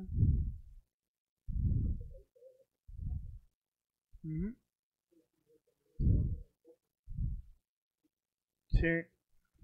Cuando la levante, sí. Hay algunas que sí. Entonces, si nosotros la ejecutamos, ahí está corriendo. Sí, es un script. Ya ahí está corriendo. De hecho, ahorita lo corrí así. O sea, lo corrí así tal cual. Entonces, si yo le doy control C, se apaga. Si yo le digo... No está corriendo nada. ¿Por qué? Porque no le dije que corriera en background. Y ahí está. En algún momento se ejecutó y duró 35 minutos. 35 segundos, perdón. Hace 12 segundos la maté. Por default, déjame ponértelo aquí. ¿Dónde está? Aquí en la presentación. Eh, Docker, por default, tiene un algoritmo que si tú no le indicas un nombre, él le asigna uno. Pero ¿cómo se lo asigna? En base a dos cosas. A una tabla de eh, sentimientos, ajá, adjetivos y nombres. O sea, siempre y cuando, ajá, siempre y cuando no se, no se, no se cumplan ciertas reglas. Por ejemplo, hay una que dice Angry, Angry Linux y esa está bloqueada. O sea, hay algunas combinaciones que no se pueden generar. Si, si, tienen, si, si tienen curiosidad en cuanto a eso, aquí abajito en la, en la presentación les puse cómo es que se generan los nombres. Eso no es de Podman, eso es de Docker. ¿Sale?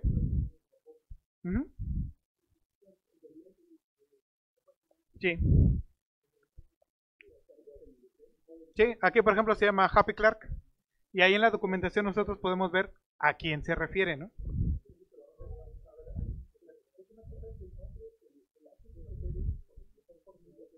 Es el nombre de la imagen. Ese es el nombre del container.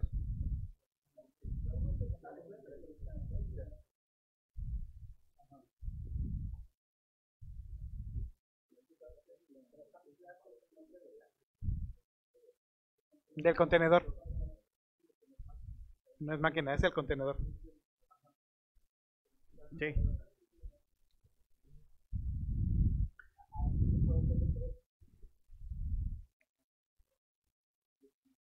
Ajá.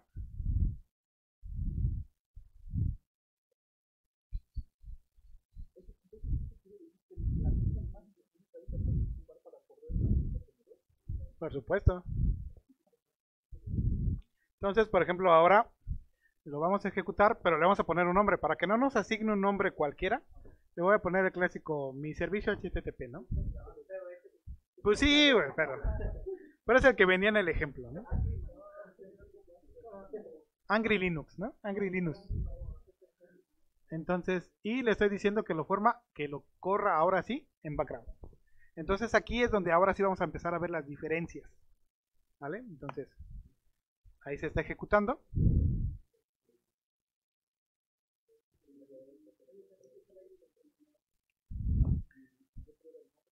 Mm, no, esa es la salida que te, que te dice que sí está corriendo.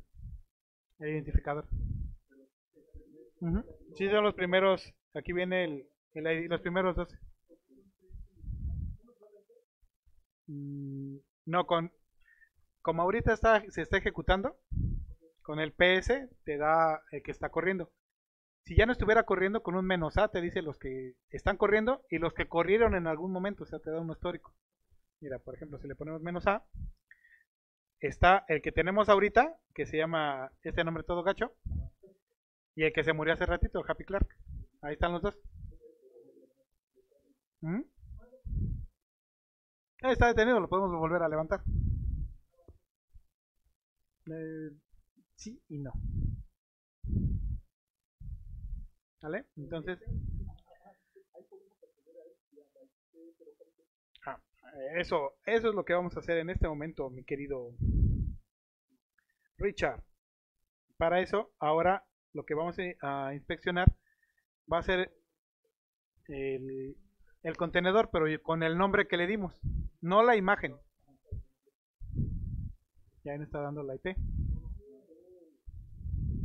¿Vale? Y asimismo podemos ver, podemos constatar que los eh, los puertos que está exponiendo son los que venían en la imagen, ¿no? Porque puede suceder, y eso sucedía con las imágenes que bajamos del Docker Hub, que nos decían que hacían una cosa, pero realmente cuando se ejecutaban hacían otra. ¿Vale?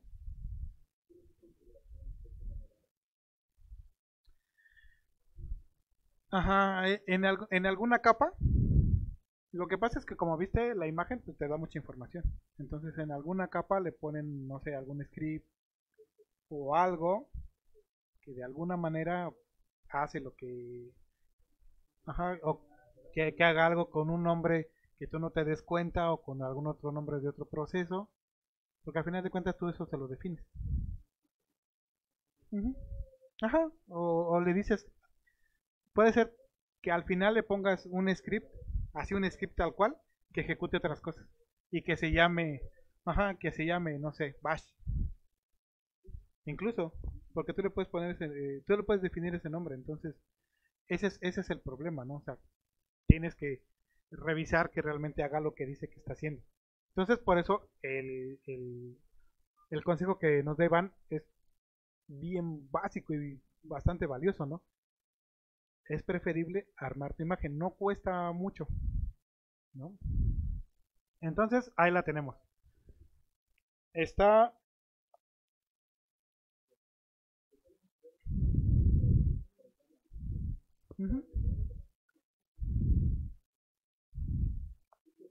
Y si nosotros le hacemos un curl, ahí podemos ver que internamente nos está dando la este la máquina virtual no tiene navegador. Estoy abriendo. O sea, esta no es, es ajá. Exacto. Mm, todavía no, todavía no, espera. Ah, que muchachos están desesperados. Ahora, ¿cuál es la diferencia ahora sí con, con, con Docker? Observen esto.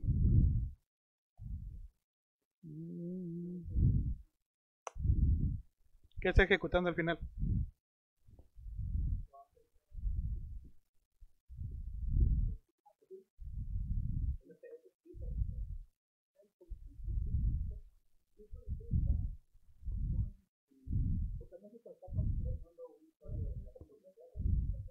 No lo tiene. No.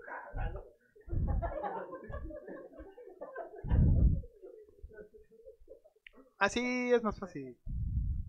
Ahí está, mira. Eh. Ujú. Que no está, que están mapeados a nadie. ¿A quiénes? ¿Qué usuarios tenemos aquí dados de alta? No, bien instalado.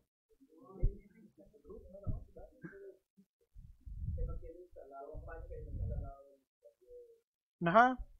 Aquí, en la máquina virtual, no tenemos instalado ningún usuario. Nada más tenemos root. Exacto. ¿Quién es ese 1001? No. ¿Quién lo está ejecutando?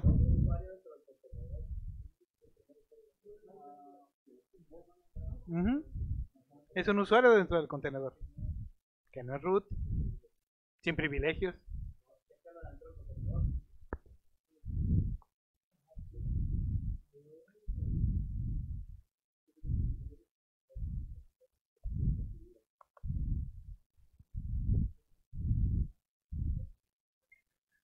Chipina Peralta, porque se me olvida. Te digo que la verdad es que... Exacto. Sí, el, eh, lo que estoy haciendo es que voy a ejecutar de forma interactiva esto, bin bash, dentro del contenedor.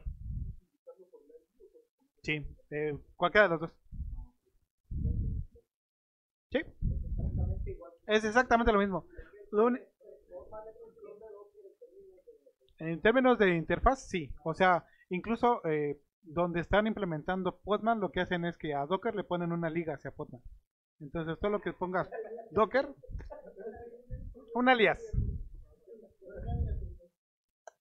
Ahí estamos dentro del contenedor. ¿Quién soy?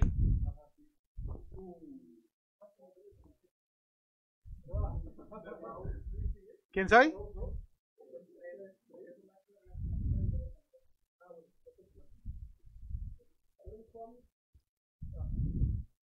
Oh, ah.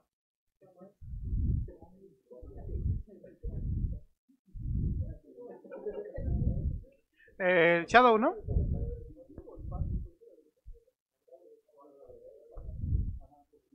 Pero soy Ruth. Sí. Ah, un su menos, ¿no? Un su.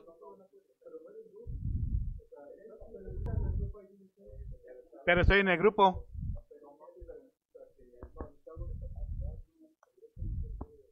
¿Cuál es el password? Red Hat. ¿Cuál? No, no, no, ahí estamos un nivel arriba.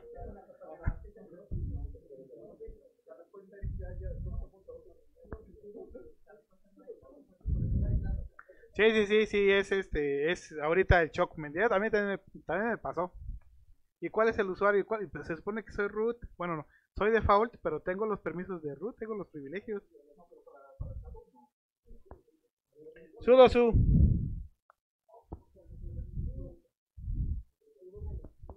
Sudo menos sí. No tiene sudo.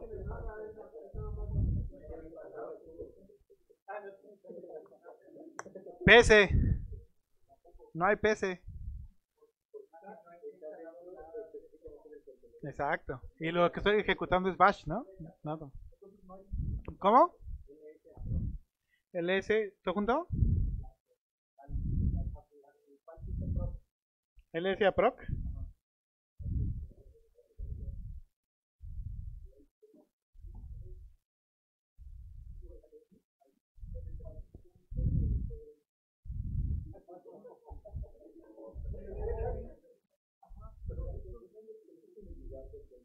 Sí. Estoy dentro del contenedor.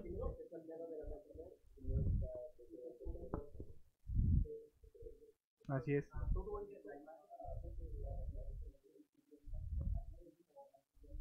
Sí, eh, sí se puede, sí se puede ejecutar un contenedor con privilegios, pero hay que indicárselo desde afuera.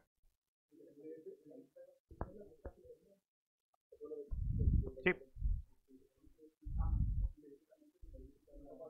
Ujú. Sí.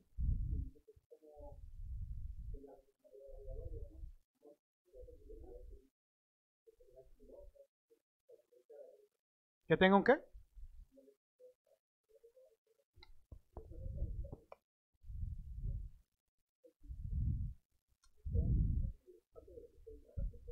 No, chavitos. Vean esto.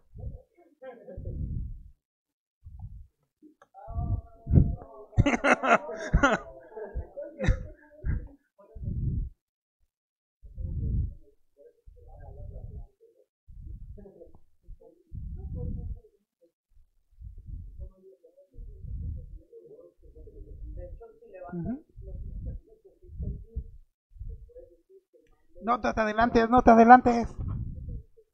No te adelantes, es lo que sigue. Spoiler alert.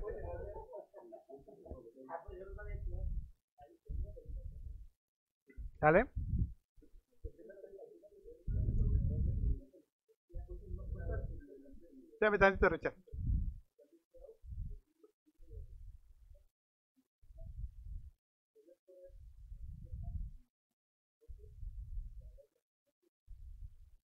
Sí, lo instalamos.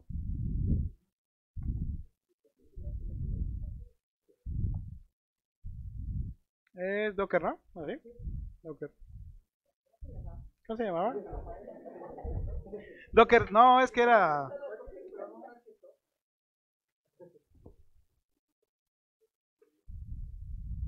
Nada más es para ej- ejemplificar. Es que justamente ese es el punto, o sea, son... Ve cuántos paquetes va a instalar.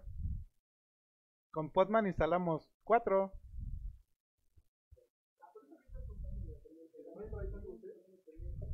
De hecho, está instalando un montón de cosas más. Nada, mejor no.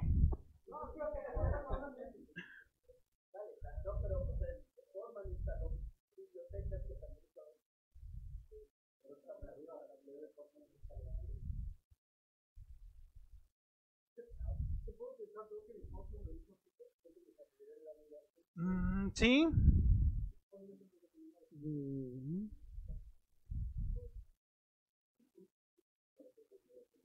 Para, sí, como para hacer migraciones, a lo mejor sí. y validas que funcione.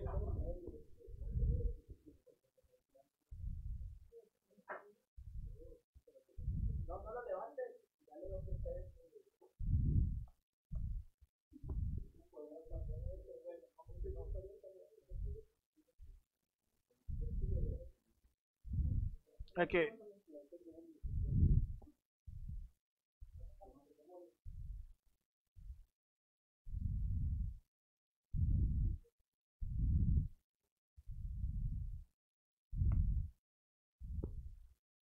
está Docker.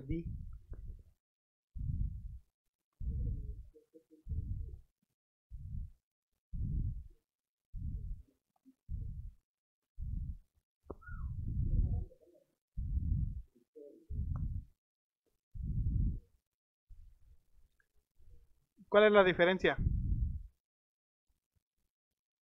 Podman está ejecutando un contenedor, ¿no?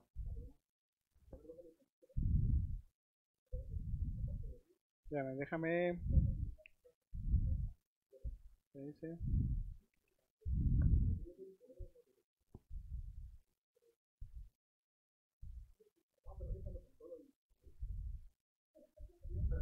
¿Con el contenedor?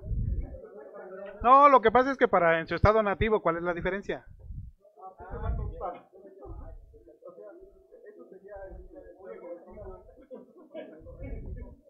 No, no, no, o sea, solito.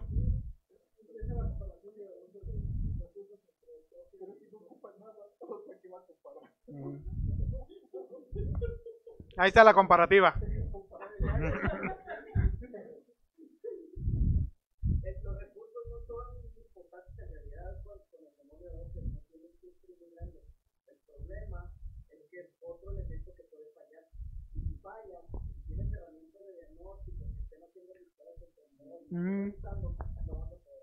A final de cuentas, recuerden que un contenedor es un proceso aislado. Probablemente ese proceso requiere de otras, de otros procesos, ¿no? Por ejemplo, si tuviéramos aquí eh, un portal, ¿no? Tenemos el frontend, la página que lo muestra, el backend, eh, un, un, este, una base de datos, a lo mejor tenemos un balanceador de carga entre ellos, y todos esos pueden ser contenedores, por supuesto. Incluso hasta los DNS pueden ser contenedores. Pero cada uno de ellos es un elemento que dependería de un solo punto de falla, que es el demonio de Docker. Se nos va el demonio de Docker, adiós, ya no podemos levantar nada. Y entonces, si el demonio de Docker, además de eso, depende de una licencia, estamos en la olla, ¿no?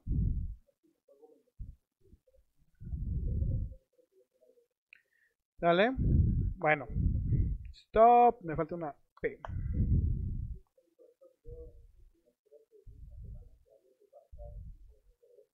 Mira. Y aún, y aún así sigue corriendo.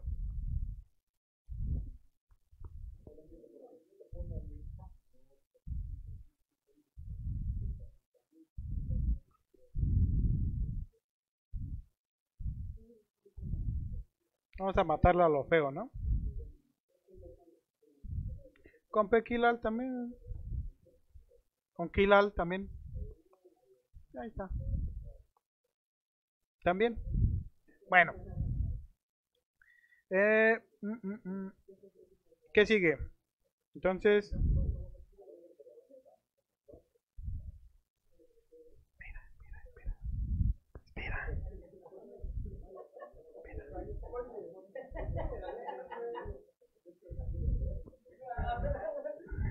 Espera, espera. Ah, ¿Se lo vimos? Eh, bueno. Entonces, si se dieron cuenta, pues manejamos exactamente lo mismo que con Docker, ¿no? Entonces, igual.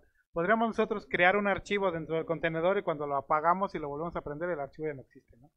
Porque es este... No es permanente, ¿no? Es, es volátil, es eh, el mismo concepto este de, las mascotas y los animales de granja, ¿no? Bueno, entonces ahora, si nosotros queremos construir una imagen, eh, ¿por qué usar eh, Builder, por ejemplo? Entonces, eh, sigue el mismo concepto que Podman. De hecho, cuando nosotros le decimos a través de Podman, créame un contenedor, internamente lo mismo, hace lo mismo que con Scopeo.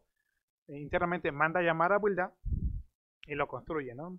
Construye eh, e, el contenedor, pero incluso eh, en, ediciones eh, premium como REL, le podremos compartir la suscripción que tiene nuestro host con un contenedor. Eso nos permite también, nos da flexibilidad a, muchas otras cosas, ¿no?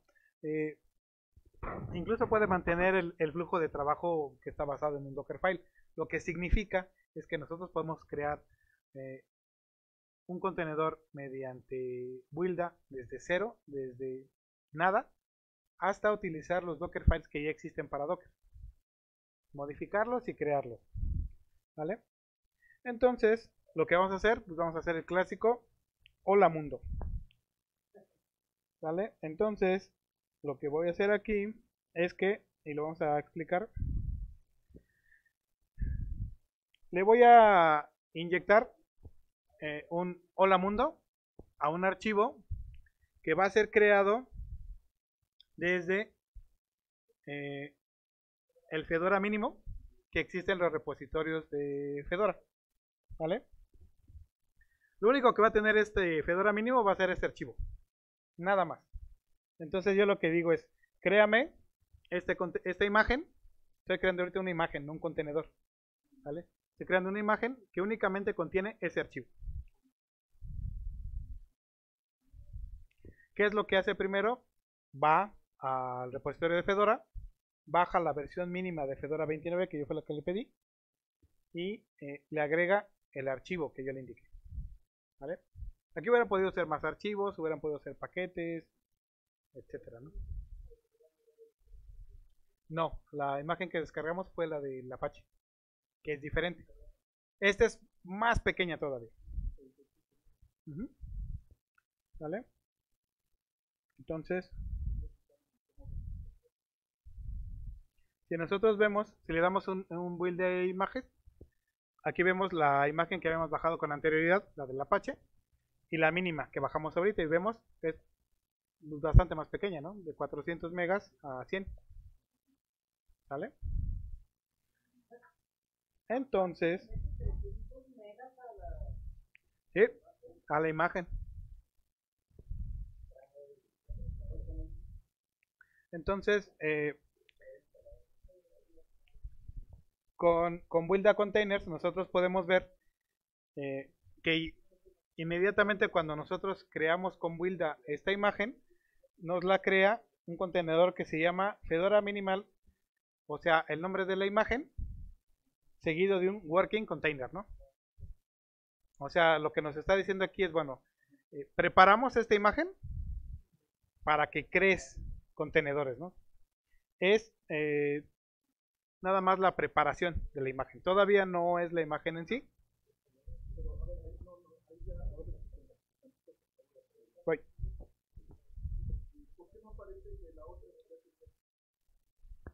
Porque esa fue la imagen que descargamos.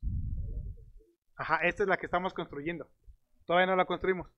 ¿Qué es lo que nos hace falta? los que son programadores, ¿qué necesitamos para que se haga? ¿Hacer un qué? Para hacer un cambio necesitamos hacer un en GitHub a otro un commit. Entonces, le digo, ¿sabes qué? Hazle commit a esta imagen que estamos preparando. Le estamos indicando que ya está lista. Entonces, ahora sí, genéramela como un, yo le puse Fedora Hello, ¿no?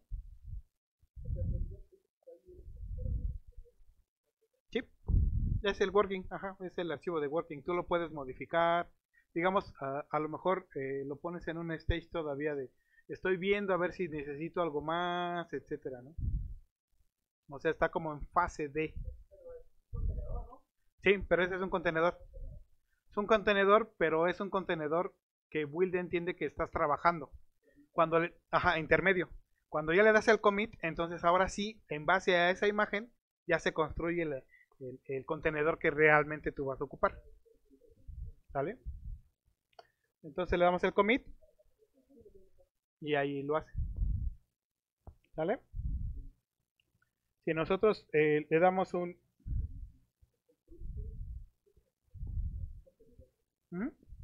Ahora vemos que ya hay una imagen local que se llama Fedora Hello. Hello. Estos son los que descargamos. E incluso nos dice de dónde los descargamos. Y este ya está, la imagen ya está en, eh, de forma local.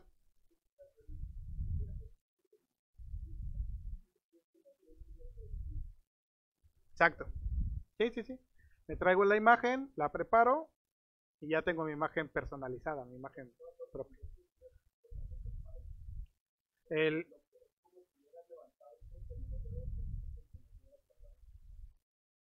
sí, ahorita el Dockerfile, ahorita lo vamos a trabajar. Pero es eh, aproximado, estamos en la construcción de... Esto es, ah, digamos que lo estamos haciendo desde cero. Lo único que ocupamos fue la imagen mínima básica de Fedora para poder hacer este contenedor. ¿Vale? Entonces, ahora, si nosotros ya no ocupamos eh, la imagen, eh, la imagen previa, esta, porque obviamente también ocupa espacio, nosotros la podemos eliminar. Eh, también la veo con Podman, porque de hecho Podman llama a este, es un alias de este comando.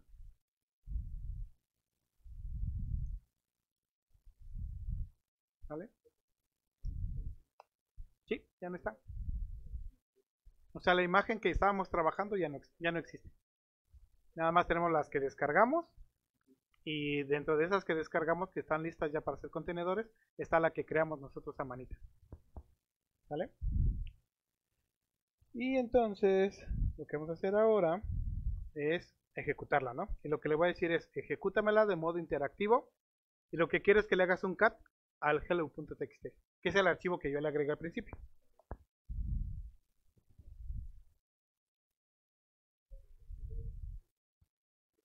No, está dentro del contenedor.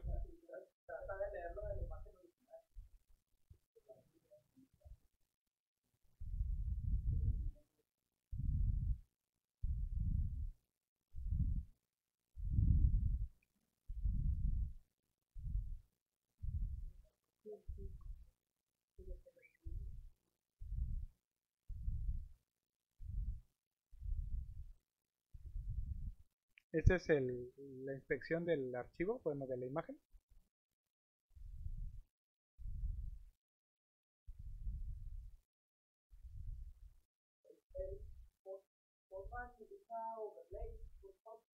Eh, sí.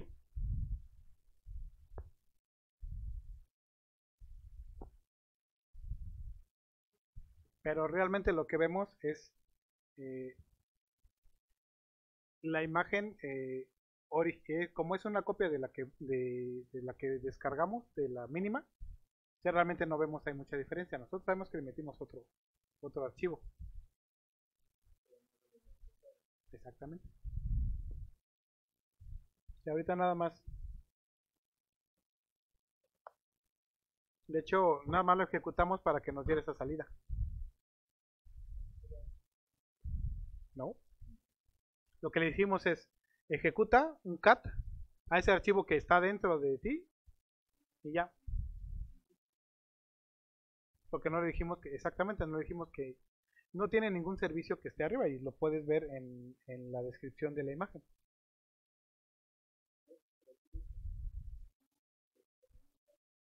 No, es interactivo porque quiero que me mande la salida. Porque si no, lo que va a hacer es que lo va a ejecutar, pero yo no me voy a dar cuenta.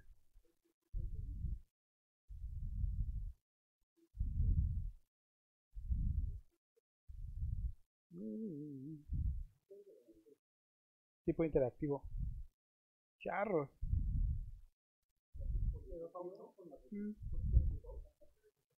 Puede ser que. Uh -huh. Sí, probablemente. Mm, pero si la corremos así, la menos D, no voy a ver la salida. ¿Sí? Uh.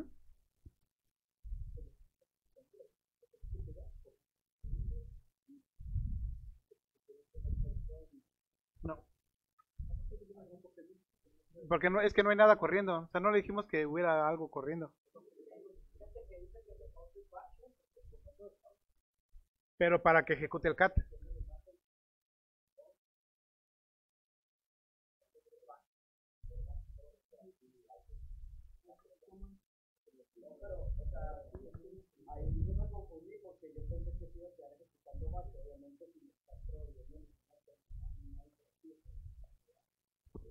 Sí.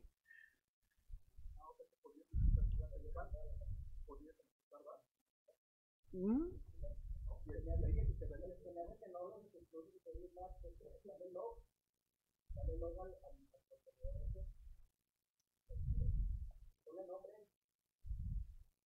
Aquí está. Este.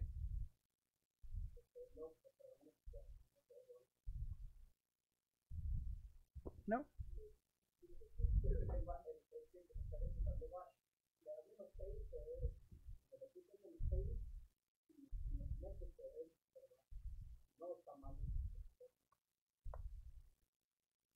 Ahí está.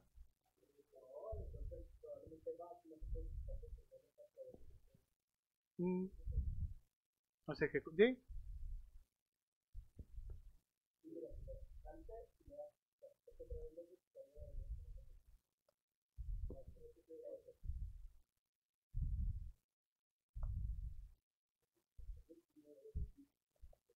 ¿Los dos ejecutaron bash?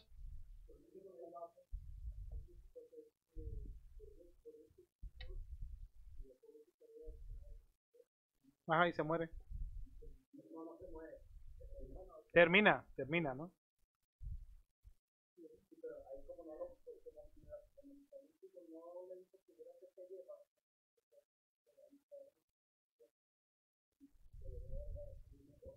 Sí. Hay que revisar la, la documentación de eso. Ver qué se espera. ¿no? Esto con el inspecta ahí lo vimos. Por eso. Es esta. Es justamente lo que tiene. O sea, la diferencia contra la que descargamos es el archivo que le inyectamos. El hello.txt. Es la única diferencia. Sí, en algún momento de las pruebas que estuve haciendo quise construir un este un MySQL con esta imagen mínima y no no me, no me dejaba. Porque no tiene, ajá. Y yo quería hacerla lo más delgada posible, pero no. Sí, sí es mínima, sí es mínima, mínima. ¿Vale? Entonces, bueno, fiel a mi... ¿Dónde está? Aquí está. Aquí. Tengo un Dockerfile ya preparado. Como Chepina Peralta.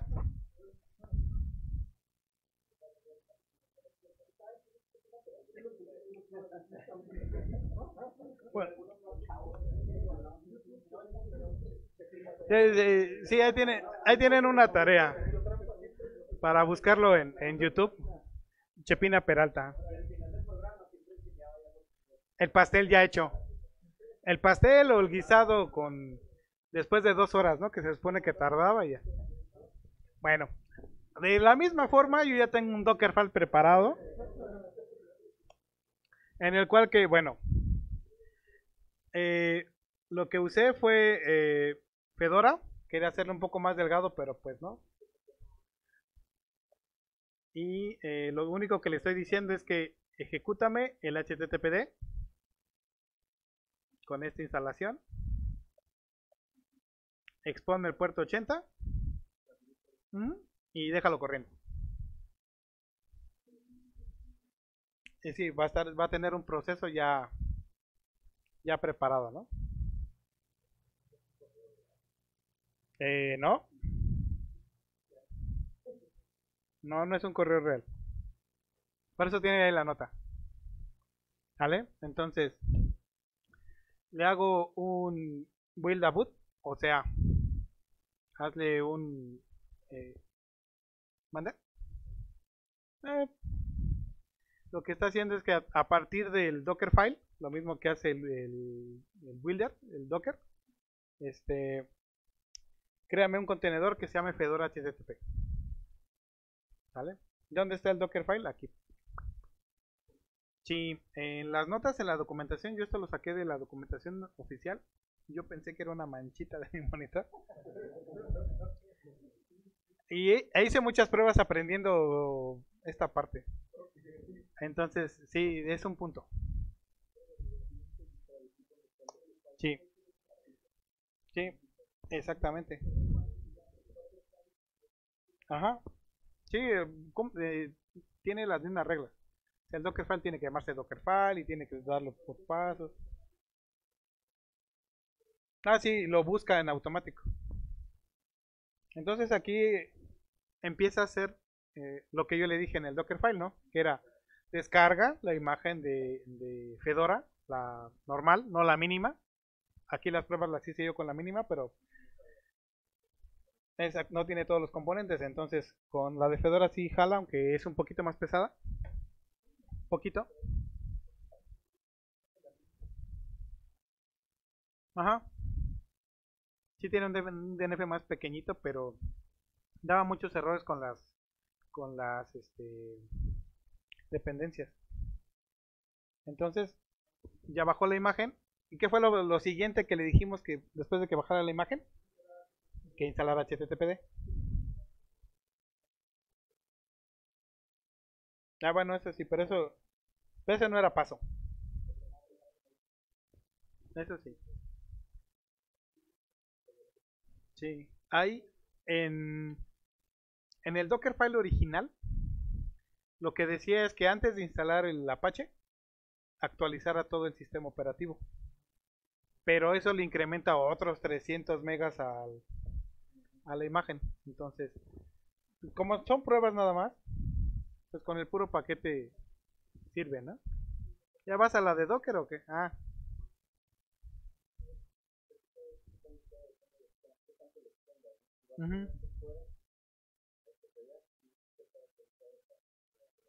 Sí, no, y, y obviamente, o sea, lo mejor es que tengan los últimos paquetes, ¿no? Y, y al final de cuentas vuelves a recrear la imagen y la vuelves a la vuelves a actualizar. Sí, el problema, el problema que, que tenemos aquí era pues básicamente el ancho de banda, ¿no? Si en algún momento alguien está siguiéndola en forma de taller, pues es complicado que todos descarguemos la imagen, ¿no? Sí. No, lo que pasa es que todavía falta bastante. Y ahí vamos dos horas.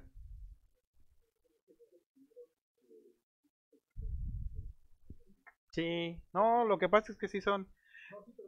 Eh, lo, que pasa es que también es un poquito ambicioso porque sí vamos a llegar un poquito más allá de lo que normalmente se llega en este tipo de pláticas. La mayoría de las pláticas que he visto y que he visto en internet y que han ahorita estado publicando mucho, llegan hasta la parte de, ¿sabes qué? Esto es Postman, levanta un contenedor, adiós. Lo que vamos a hacer ahorita es, estamos construyendo ya de dos formas diferentes un contenedor. Vamos a instalar un contenedor con storage. Vamos a generar unos cuantos pods Es volátil, entonces, y después de ahí de generar algunos pods, vamos a hacer el paso siguiente. No.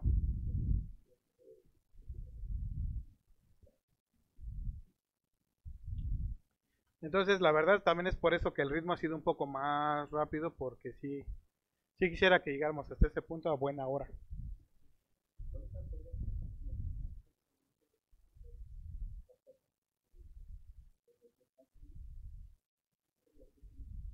Sí, sí, sí. Este. La, máquina es. La lap es Fedora 28. Tiene KVM y la máquina virtual. Este, la máquina, la máquina virtual internamente tiene Fedora 29.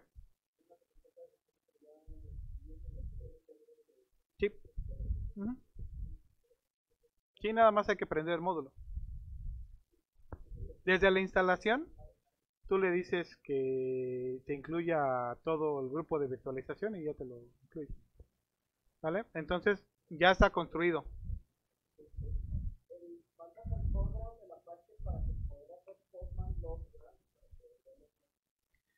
No, ahorita vas a ver para qué. Lo mando al foreground sí por una situación en particular y es ahí donde les voy a explicar por qué me gusta bastante y por qué lo estoy ocupando. Entonces, sí, ese es el que creamos ahorita, ¿no? Basado en el Dockerfile. ¿Vale? Entonces,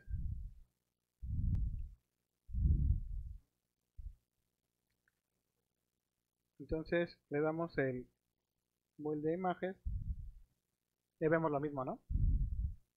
La diferencia es que, por ejemplo, vean la, vean la diferencia de la salida. En, con Podman nos dice cuál es la versión, el ID, cuándo fue creada, etcétera. Pero con Builda nos dice la fecha en que se fue creado. Porque Builda obviamente es el que la construyó, ¿no? O sea, le importa más este dato, ¿no? O sea, no lo va a ejecutar, ¿vale? Si nosotros queremos eh, probar, sí, sí me quedó un poquito más. Eh, la probamos, no lo voy a ejecutar. Lo que le voy a decir a Builda es, hazme como un dry run, o sea, una prueba en seco. ¿Se refiere a eso? Nada más ejecútalo para ver si es cierto que el... Para ver que funciona. Y ahí está. Sí, nada más lo que le estoy diciendo a, a es, hazme una prueba de que el contenedor ejecuta lo que yo le dije que iba a ejecutar. Que en este caso es el Apache, ¿no? Y el que bajó es el Apache 2.4. Gracias, gracias. y eso que todavía no acabo.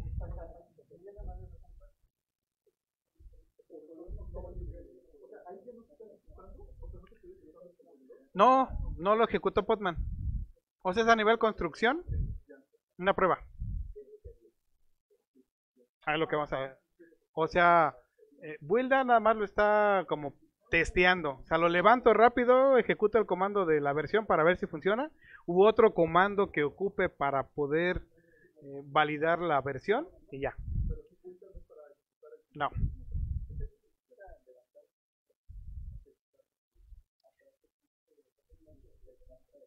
Por ejemplo, si tú lo dejas así sin nada, hace la primera instrucción y lo mata.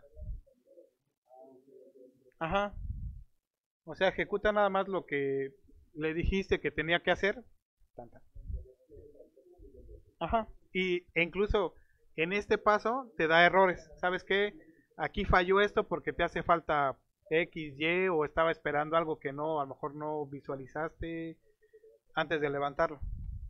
Entonces, a lo mejor, ¿sabes qué? Este, ya lo construiste a mano, pero no le pusiste un index. Entonces ahí te va a decir, pues no puedo mostrar nada porque no hay nada que mostrar.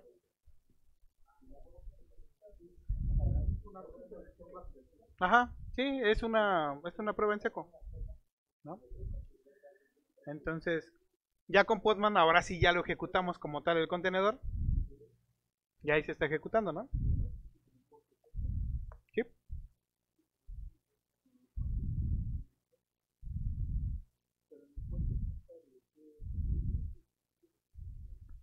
Ahorita vamos a ver. Sí. Sí. Ahí se está ejecutando.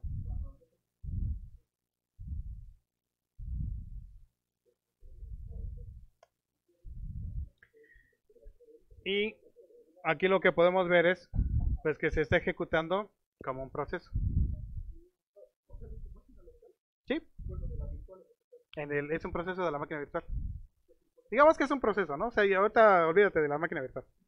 Eso fue como que previo, ¿no? Pero realmente se está ejecutando como un proceso. ¿Por qué? Porque un contenedor es un proceso.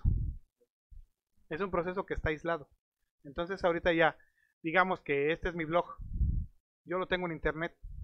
Tengo esta máquina en Digital Ocean. estoy ahí publicando mi, mi blog. ¿Qué pasa si alguien se me mete? Nada,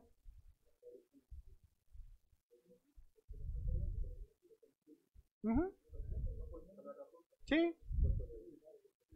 a lo mejor se va a entretener ahí viendo bien, tratando de meter comandos o haciendo alguna cosa, pues, échale ganas, ¿no? Pero realmente está ahí, aisladito. ¿Sí? ¿Qué puerto le dijimos que el 80, no?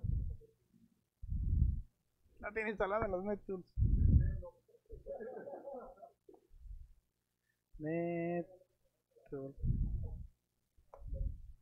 No, eh, eh, lo, lo, lo primero que lo primero que pensé fue ya eh, dejar la máquina como ya la había como ya la tenía ya con todos los ejemplos y todo descargado pero dije pues que también le quita mucho chiste no entonces qué puerto dijimos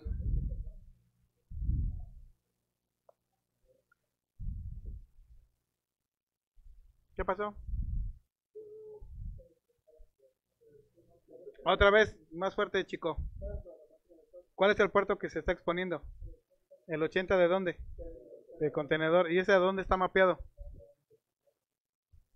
¿a dónde está mapeado?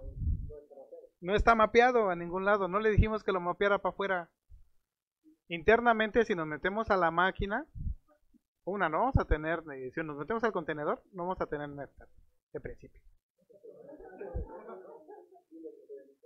Y no se no se puede adentro del contenedor.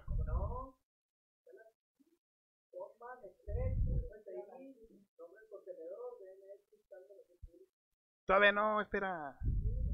no ahorita no porque rompes el esquema de los ejemplos tú déjate llevar déjate sí ¿Vale?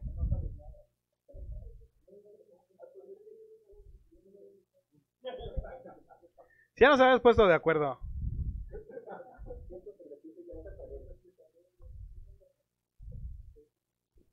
Ahí IP, ¿no?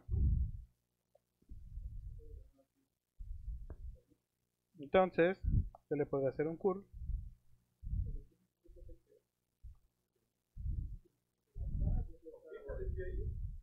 Claro.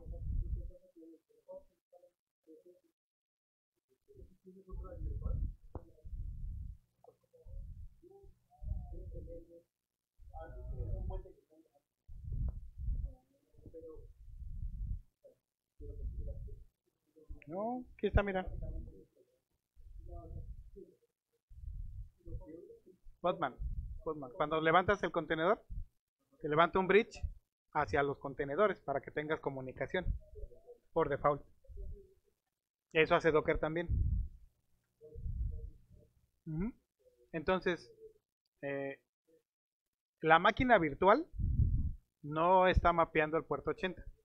Pero si yo le yo le pido esa IP del contenedor, ese contenedor está tiene abierto ese puerto. Ujú, exactamente, puedo ver el log y puedo ver las peticiones. En el log fue lo que me dijo, estoy usando esta IP. Sí.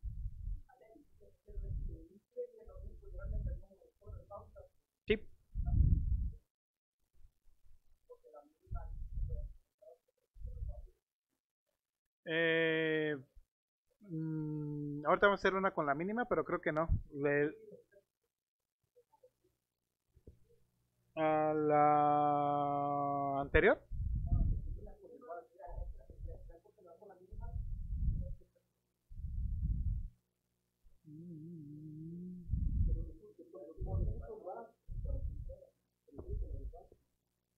¿Te refieres a la mínima, no? Sí. Entonces, run menos d. Menos ti menos d. Te minimal min bash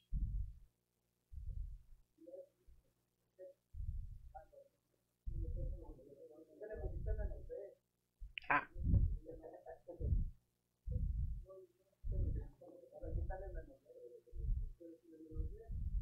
voy voy voy calma calma no pasa nada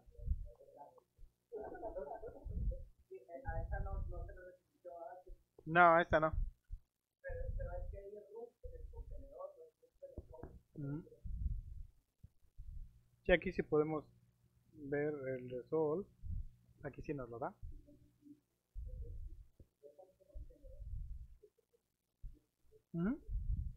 Sí. El shadow. Sí. Ese es el del contenedor. Pero aquí si le quisieras instalar algo, sí se podría, ¿no? Por ejemplo, el MariaDB. Algo chiquito.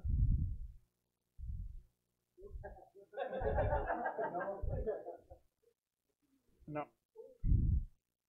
No, tampoco tiene. Yum.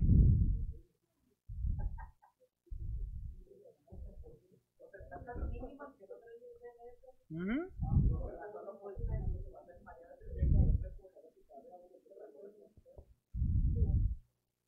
etc.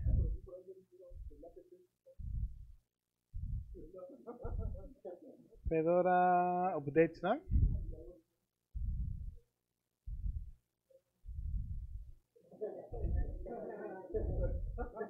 Si le hacemos un ping,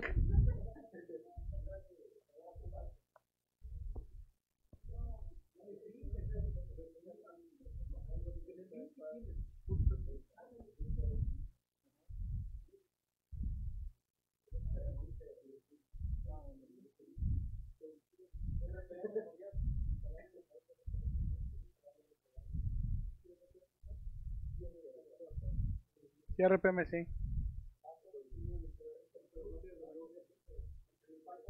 Pero no hay wget.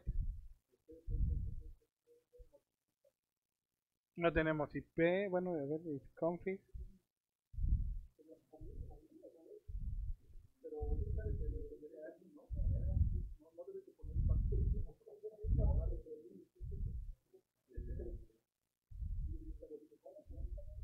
¿No está?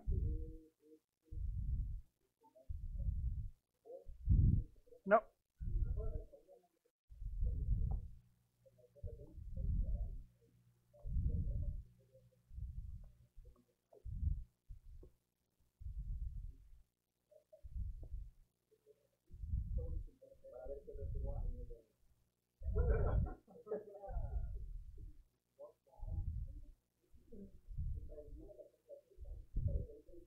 Sí trae un bash completo.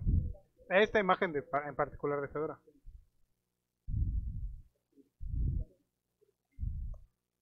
¿Sale?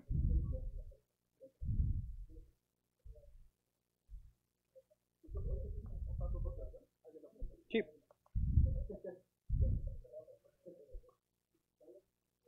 Sí, vamos a matarla.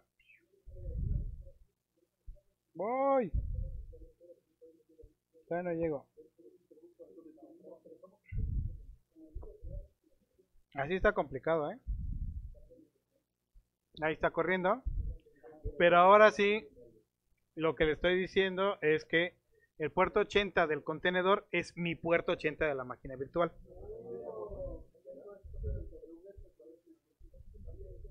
Así se mapea.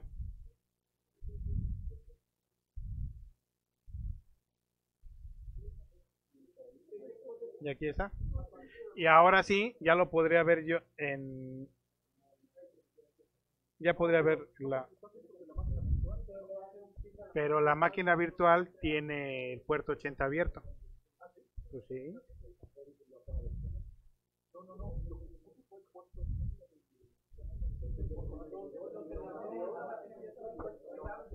Richard.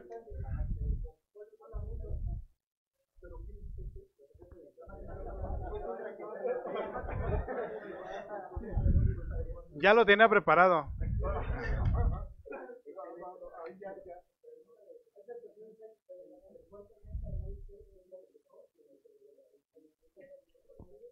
El puerto del lado izquierdo es el de la máquina local. El de, el de la derecha es el del contenedor. La izquierda.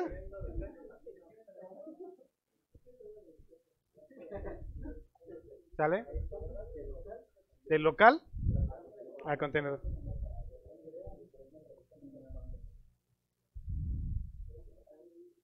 Hay que matarlo otra vez porque todos piden cosas.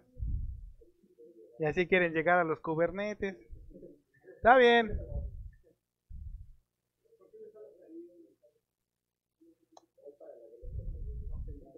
Ahí está. Ahora no tiene nada.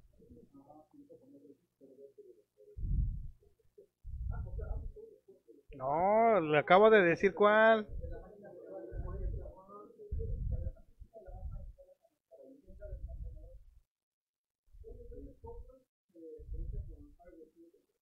No tengo firewall.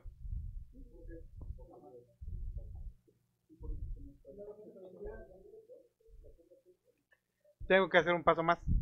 Tengo que decirle al firewall D o al ptables que me permita el puerto 80. No. ¿Mm? Sí.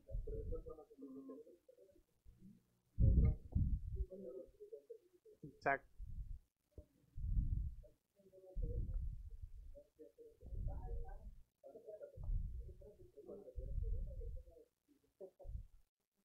Eh, el laboratorio donde estamos haciendo todo esto es la máquina virtual.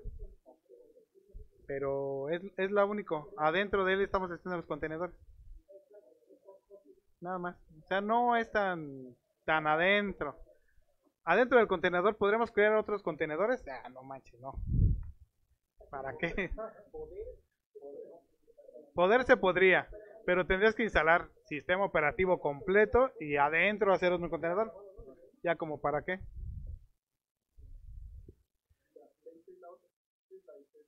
De la máquina virtual. Porque la máquina virtual está exponiendo el puerto que yo le indiqué. Aquí mira. El de la máquina local, el 8080, va hacia el 80 del contenedor. Ya. Ya ol- olvídate de que está dentro de una máquina virtual.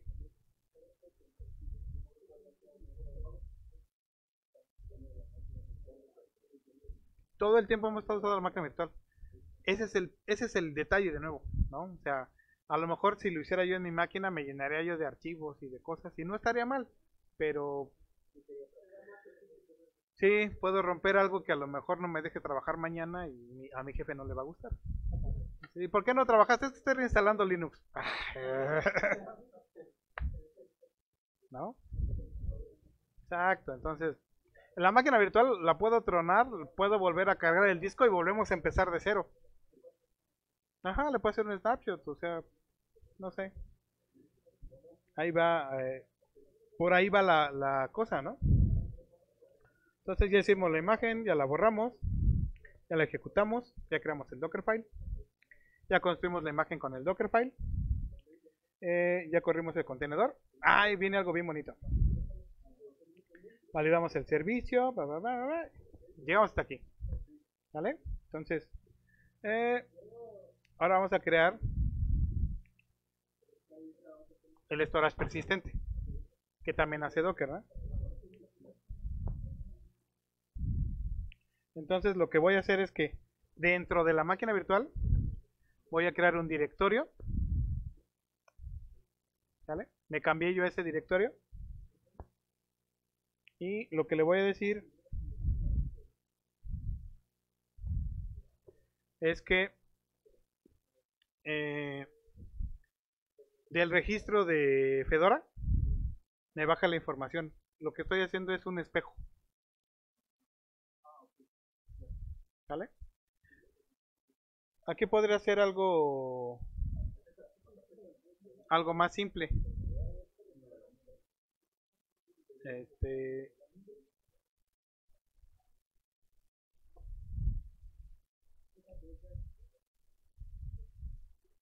allá afuera. Hasta allá afuera.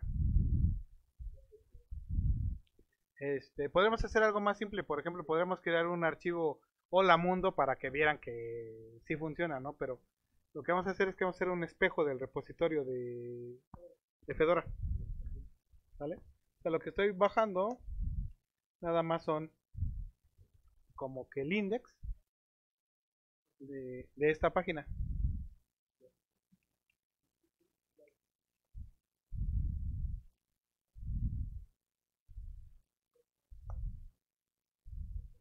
Este, ¿no? Este es el que está en internet, el de Fedora. ¿Vale? Voy a bajar esta página para tenerla de forma local. Ok, nada más, para que se vea bonito. Para tener algo más que uno la mundo, ¿no? Para que se vea bonito. ¿Sale? Ajá, ajá, exactamente. Entonces, ahí lo que podemos ver es que lo que descargué fue todo esto, ¿no? El CSS, las imágenes, el index, todo, todo lo que contiene la página, ¿no? Ajá. En HTML, ¿no? En la máquina virtual. Imaginemos que esta es la información de mi blog, de nuevo, ¿no? El mismo ejemplo. Entonces, lo que vamos a hacer es que.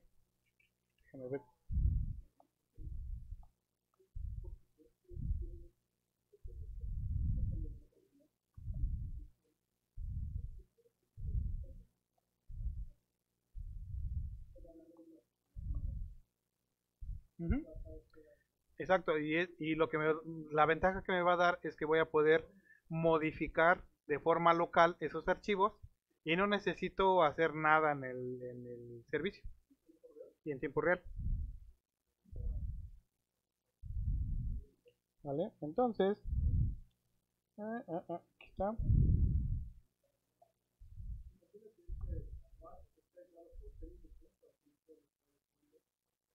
A través del contenedor, tú vas a ver eh, archivos que son estáticos.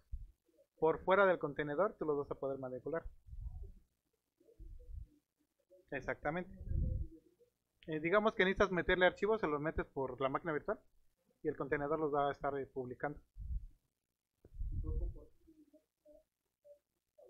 Ajá. Siempre y cuando esté en el volumen. Ajá.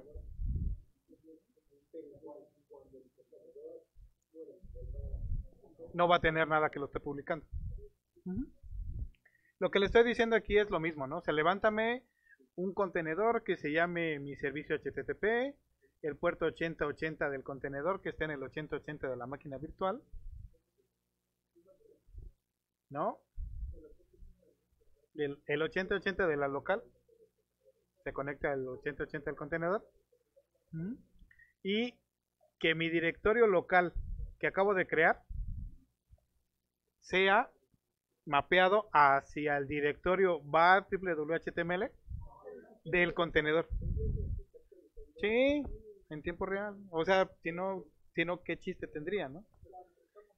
E incluso, para que no haya problemas con C Linux, le estoy diciendo y cópiale y asignale el mismo contexto. Para que esté protegido por Linux. Por si les preocupa. Porque algunas veces cuando tenemos el Linux, el problema que nos da, ya se acuerdan lo que, lo que decíamos en mis primeras pláticas de ese Linux, si no las escucharon, es que solamente el, el demonio que tiene la misma etiqueta va a poder eh, ejecutar los archivos con la misma etiqueta. Entonces todos los archivos del Apache vienen con HTTPD, logs, ejecutable, etcétera. Entonces le va a asignar a ese directorio local la misma etiqueta para que los pueda manejar. Es una cuestión de seguridad ahí, de políticas, ¿no? Exactamente. Entonces, y ya de ahí, eh, lo que quiero, la imagen que quiero utilizar es la del Apache, la primerita que bajamos. ¿Vale? Ah, dice que es que sí existe. Ah, ah, no, eliminarla. Sirve que también podemos ver cómo se eliminan. Aquí está.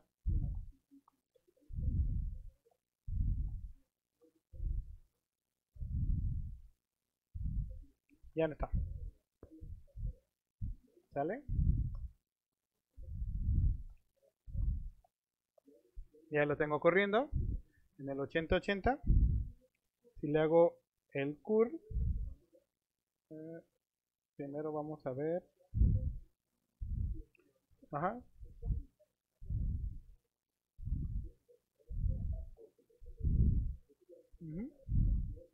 Está vivo.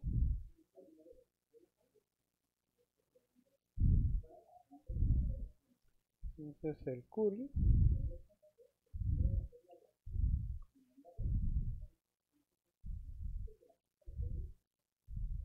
Ahí está, ¿no? Ahora con Firefox.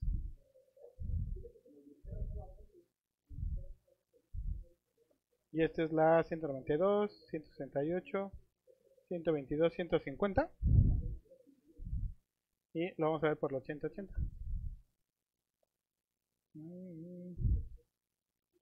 Chan, chan, chan. Es la misma máquina. Es de lo que... Sí. Puede ser que sea caché del Firefox.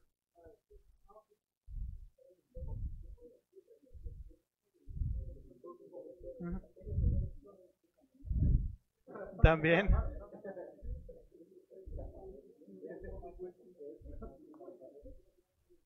No, sigue mostrando la misma. Ah, no, no, no. Er, no. No, no, perdón. Es error mío. No, lo que pasa es que está... Nos falta un nivel.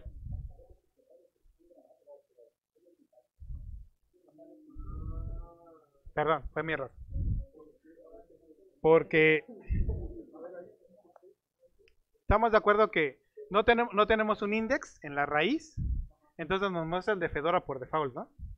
Entonces lo que hice fue bajar el repo de, del registro del Fedora Project para tener un espejo. Entonces, en teoría, si ahorita yo creo un index, debería de modificar al index que, que existe, ¿no?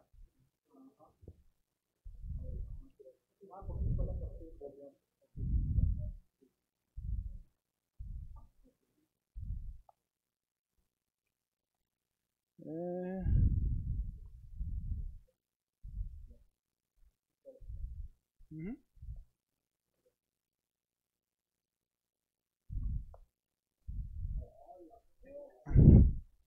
No necesité hacer, cambiar contextos, no necesité hacer nada. Si digamos que lo quiere editar,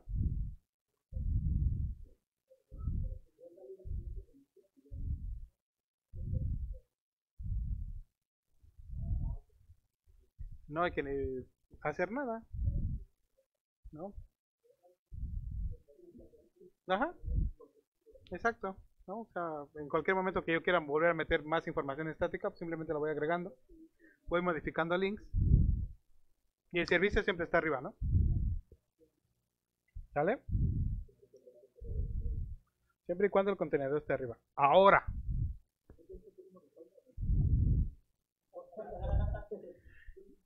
Estamos, estamos, sí. ¿Estamos de acuerdo? De nuevo, que un contenedor, e insisto, un contenedor es un proceso aislado, ¿sí o no? Entonces, y a pesar de que no le guste Iván, ¿podríamos decirle que decirle a systemd que nos maneje este proceso? Por supuesto. Lo convertimos en un lo, lo convertimos, exacto, para eso está el systemd, lo convertimos en un servicio, ¿no? Entonces, antes que cualquier otra cosa, vamos a matarlo.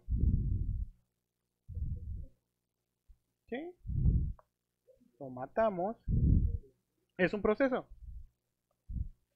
Lo que pasa es que eh, en muchos casos también empezaron a venderle ideas que es un contenedor, es un contenedor. Sí, o sea, está chido el nombre y todo lo que sea, pero es un proceso. O sea, originalmente fue creado para esto, para enjaular cosas, para enjaular procesos, aislarlos.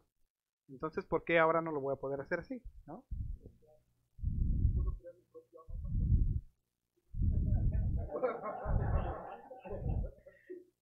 Has entrado un mundo nuevo, mi amigo. ¿Sale? Eh, lo que está haciendo OpenStack es que muchos servicios que son muy complejos para configurar, de por sí OpenStack es así un mapa muy feo, ¿no? Entonces, eh, para configurarlo necesita un equipo especializado, etcétera. Entonces, muchas de las cosas ya vienen contenerizadas para que ya sean más sencillas de instalar. Entonces es más rápido, más sencillo y ya viene por default, ya vienen muchas configuraciones. Exacto, sí, porque lo que pasaba es que, bueno, es que aquí lo instalé y le di yo estos comandos y no, no me jaló, entonces le quité una cosa. Pero y cuando quieres darle soporte a eso, pues es imposible, ¿no? Entonces ya con los contenedores es mucho más fácil. Ah, no sirve este. Ahí te va el contenedor bueno.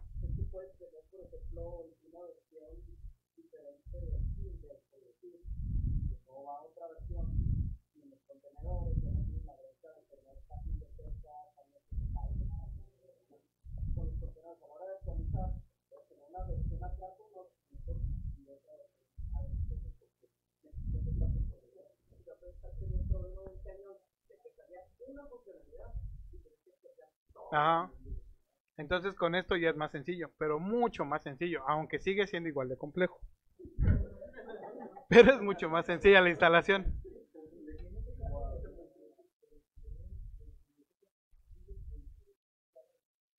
Ajá.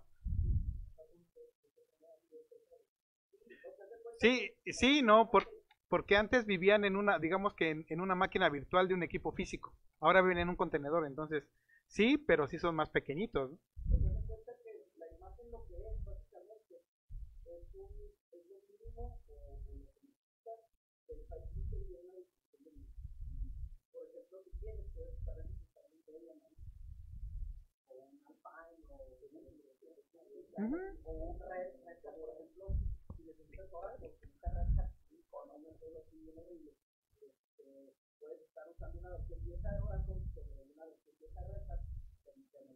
Sobre todo por algunas herramientas que, por ejemplo, solamente son estables en ciertas versiones, algunos monitoreos, algunas cuestiones de estadísticas y cosas así que solamente existen en ciertas versiones muy particulares, así se aíslan. ¿Vale? Entonces, dicen que te consumas solo recursos ni que necesites más hardware. Ni, exacto, de, ni de pruebas, porque ya está probado, en el laboratorio ya se probó.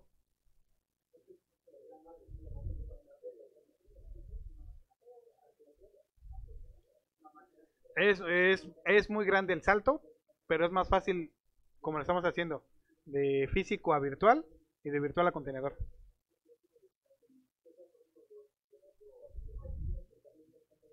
Físicas. Pasa a las primera virtual.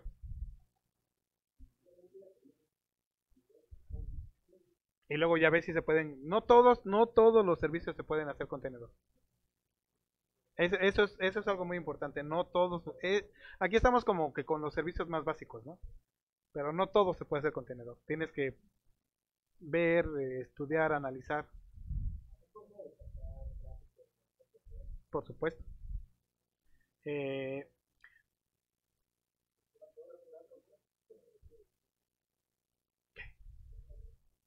voy.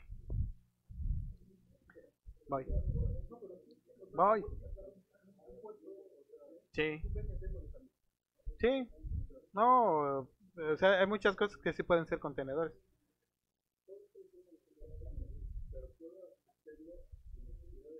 Con sudo.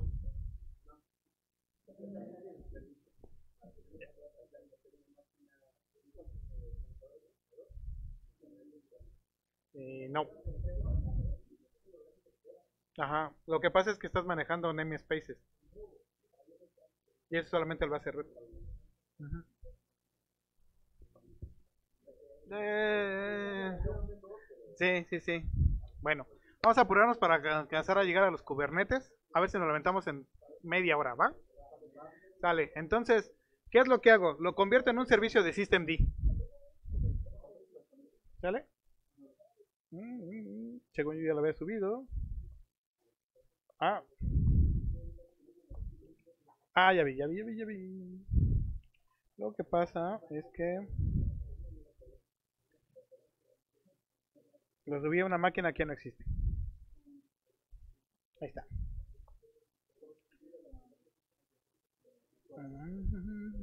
Como Chepina Peralta les decía, ya tengo yo. Es, es exactamente lo mismo, ¿no? O sea, nada más es un archivo eh, unit de systemd donde le estoy diciendo eh, ejecuta antes antes de que veas antes de que lo ejecutes asegúrate que no esté corriendo ¿no? Entonces elimina cualquier servicio que se llame con el mismo nombre ¿no? para inicializarlo ejecuta este comando que es el mismito que ocupamos para detenerlo para recargarlo o para eh, para recargarlo utiliza el stop, el RM y vuélvelo a iniciar, ¿no? Y luego para detenerlo, mande.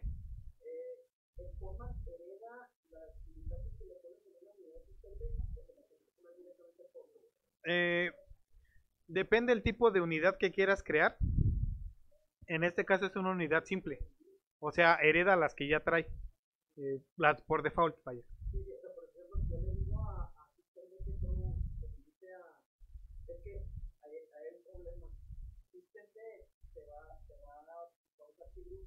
Uh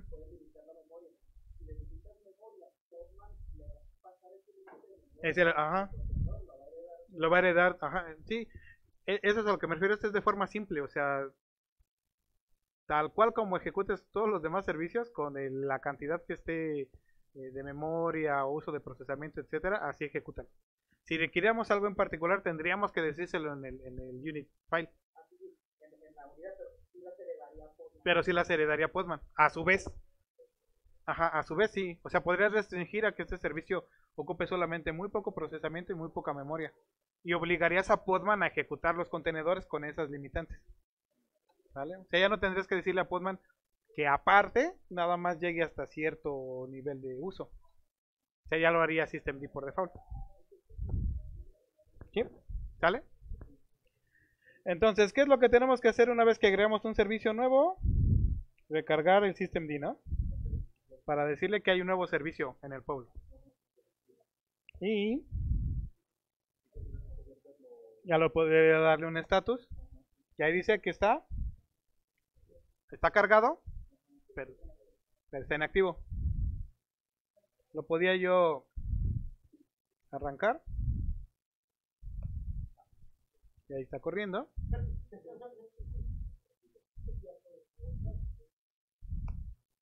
Y ahí está corriendo. Entonces ya podría decirle, con todas las ventajas que tiene SystemD, a pesar de la gente que no le gusta, podría decirle que siempre lo mantenga corriendo, que siempre que lo vea abajo lo vuelva a levantar, podría decirle que lo arranque cuando arranque la máquina virtual. Exactamente con lo mismo. Ajá, que, que le esté... Ajá, exactamente, que, que, mande un, que mande un log detallado, etcétera, bla, o sea, lo mismo. Sí, sí, sí. ahí tendrías que decirle arranca cuando el después del NFS. Sí, sí, en este caso pues, es un file system local y ahí arranco. ¿Vale? Corramos a lo que sigue. Los pods. El pod es un concepto introducido por Kubernetes.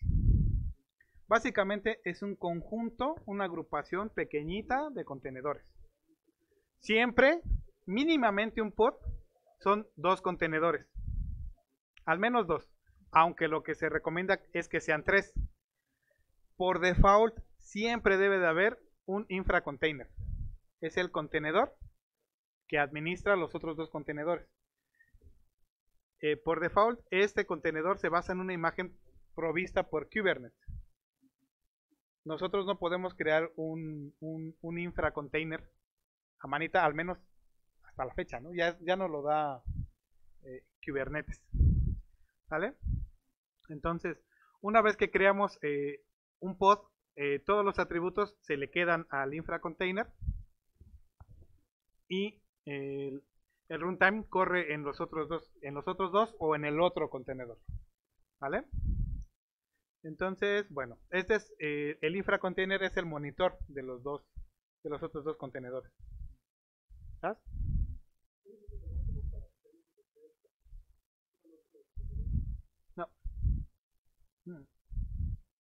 ¿Vale?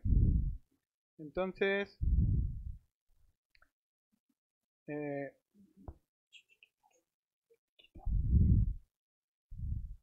¿cómo creamos un contenedor? Bien fácil. Podman pod create.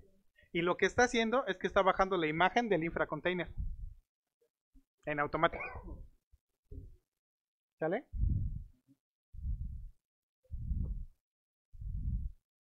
Y ahí tenemos. ¿Sale? Está corriendo en su versión mínima. ¿Sale? Número de containers.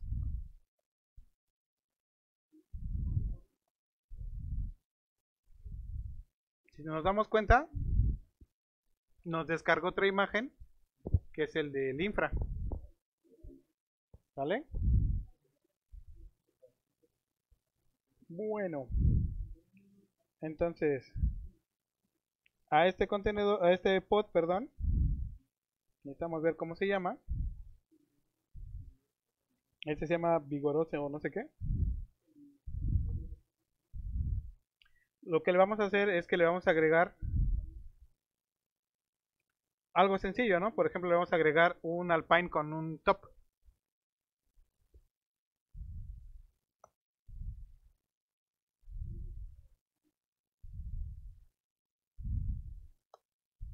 ¿Y ahora cuántos contenedores tiene?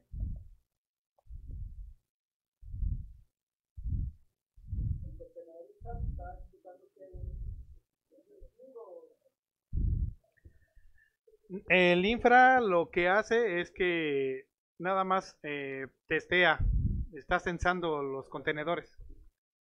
En este caso nomás bajé el infra y al infra le puse un top que está corriendo. Ya, es todo. Ya nada más como, como ejemplo, ¿no?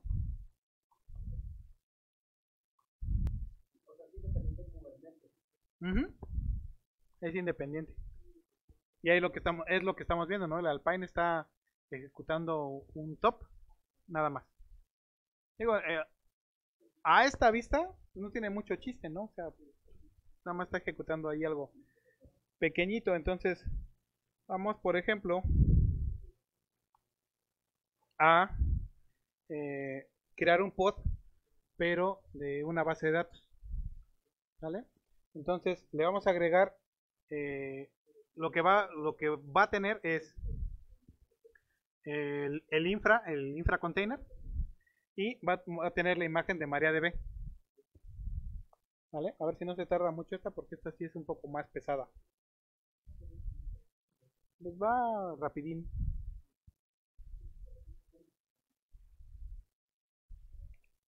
Y lo que le estamos diciendo aquí al pod es que solamente tenga una base de datos, ¿no? Entonces lo que vamos a hacer ahora es que le vamos a agregar un contenedor y a ese contenedor le vamos a agregar el cliente para poder conectarnos a esta base de datos. Es el puro server, digámoslo así. ¿Vale? Con MariaDB, con Fedora. No, con Fedora 28, porque el Fedora 29 todavía no tiene MariaDB en contenedor.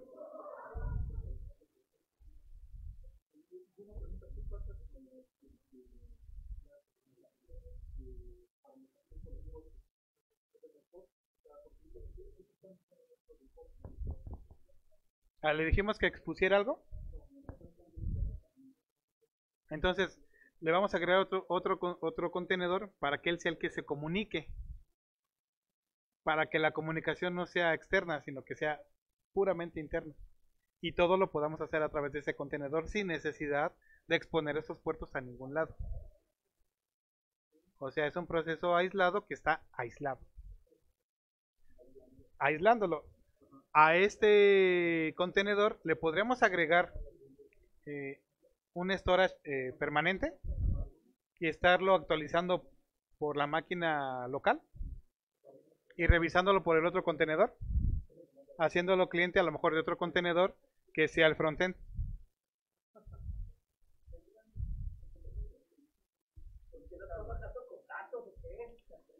no pero esa es la de Fedora así viene ya casi, ya casi.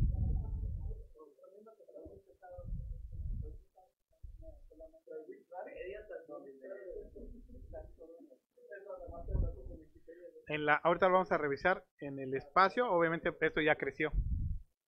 Conforme hemos bajado 3, 4, 5 imágenes algo grandecitas. Pesaba que 400, 400 megas, ¿no?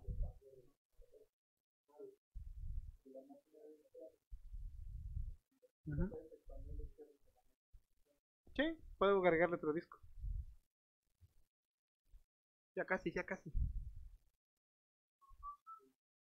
Sí, el, el, el concepto, la verdad es que sí cuesta un poquito de, de, Sí, pero conforme lo vas trabajando ya le vas entendiendo más.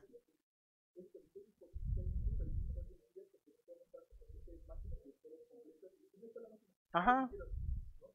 Pero ese también es el problema, ¿no? O sea, exponen muchas cosas y estás expuesto a, a mucho también.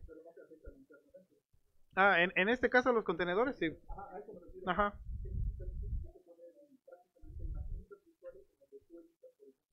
Servicios nada más.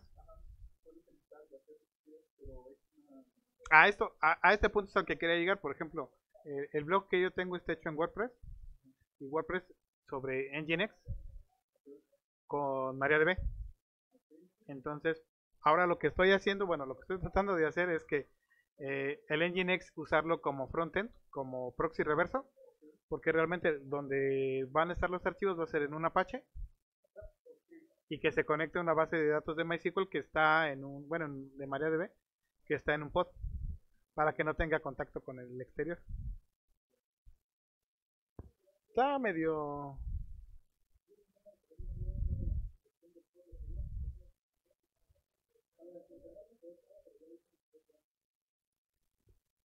El pod... Eh, el pod es una agrupación de contenedores que te permite escalarlo. Es como si fuera un clúster.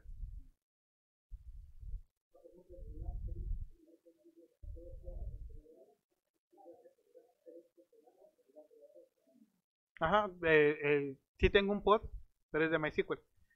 En el caso de que necesite más procesamiento, le agrego otro, eh, o le digo al, al, al infra que cuando llegue hasta cierto uso, agregue otro contenedor igual. Para que ya no me esté sirviendo un solo contenedor de MySQL, sino sean dos. Entonces ya la carga se distribuye. Ajá, para hacer el balanceo. Exacto. Y la base de datos, la, teniéndola en el pod, lo que va a poder hacer es que en caso de ser necesario va creciendo. O sea, la idea de los pods es prácticamente la escalabilidad la escalabilidad nada más. ¿Sale? Entonces...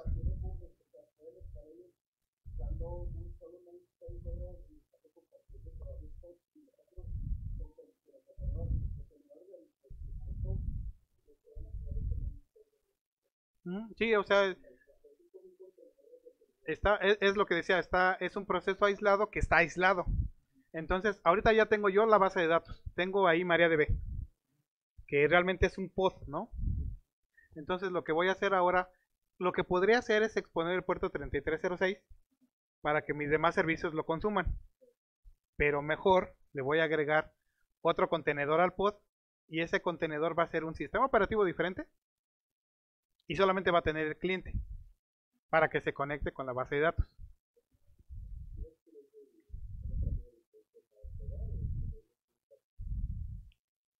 Eh, una es porque porque mejora la seguridad al no tener el mismo footprint, ¿no? Es la misma versión. Y por otro lado también porque eh, esta versión Alpine es mucho más ligera que el Fedora. Y lo que estoy haciendo ahora, era lo que decía Iván, sí se puede ejecutar un contenedor eh, con privilegios, pero hay que decírselo antes. En este caso que le estoy diciendo, este contenedor, ejecútamelo con privilegios. Privilegiado. Agrégalo a este pod. O agrégalo a este conjunto que tengo. Pero quiero que sea un, eh, un Alpine. Y devuélveme un shell, ¿no? Ahorita cuando termine se va a morir. Yo nada más lo quiero para probar la base de datos.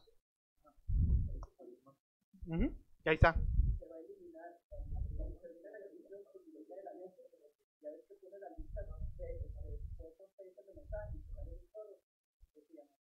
este ya no.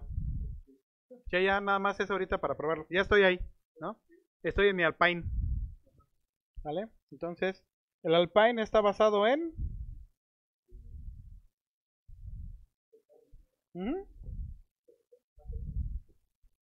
Entonces, nada más le voy a agregar el cliente de MariaDB. Y ahí lo puede hacer.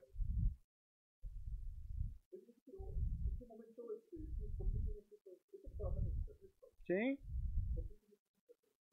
Por el bridge. Y ahí está, ya lo ejecutó. Entonces ahora, en teoría, para conectarme a... Si yo estoy desde un cliente para conectarme a una base de datos, tendría que darle la IP del servidor, ¿no? En este caso, esto es un pod y como bien lo dijo Iván, comparten namespaces. En este caso, comparten el namespace de, de la red. Entonces yo lo que le digo es conéctate de forma local a tu puerto 3306. No lo estoy exponiendo, ¿eh? Y cuando instalé el pod le dije que la contraseña de root iba a ser nada, o sea, no iba a tener contraseña.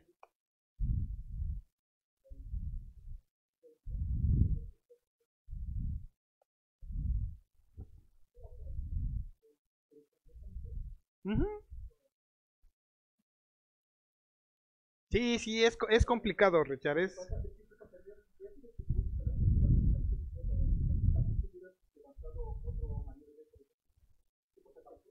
Es el mismo. Es el mismo. Comparten el namespace.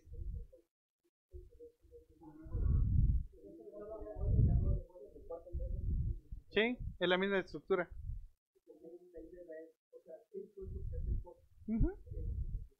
Entonces aquí podría tener, por ejemplo, 10 contenedores de MySQL para que le den chamba y yo ocupo otro para conectarlo. Sin exponer nada.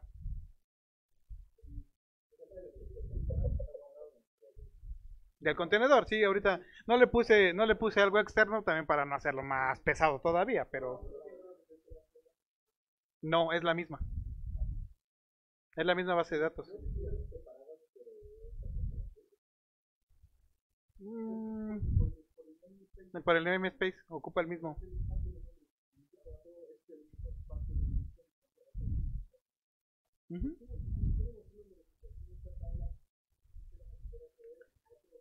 Mientras esté levantado el, el pod y el contenedor, va a vivir. Cuando muere el contenedor, tu información se fue. Los contenedores con base de datos requieren por default que le pongas gestores externos para que se guarden los datos. Por seguridad, no. Por seguridad, no por funcionamiento. Exactamente. Sí. Ajá. Así es. Ahí no necesitas más fierro. ¿Vale? ¿Sí? Bueno. Como bien lo dijo Iván, una vez que que se murió, eh, eh, eh, sí, sí, sí, por supuesto. ¿Cuál? ¿A cuál? Ah, este Luis nos va a dar la liga de donde se guardó y todo, ¿va? Sí. Y de todos modos, eh, cuando les demos los datos de, de dónde vamos, de dónde pueden bajar la presentación y todo eso, les voy a incluir el archivo que grabamos con toda la sesión para que vean la ejecución de todos los comandos y todo eso. ¿Vale? Entonces, volviendo al pod, eh, originalmente lo creamos con dos, con el de MariaDB y con el del infra. Y ahí están. El de Alpine solamente lo usamos para validarlo. Se creó y se murió.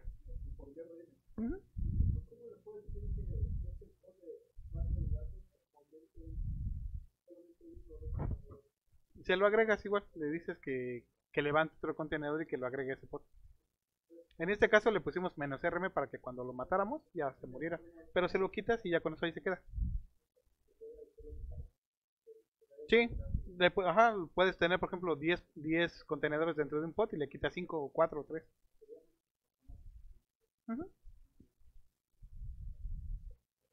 Sí. Chale, entonces...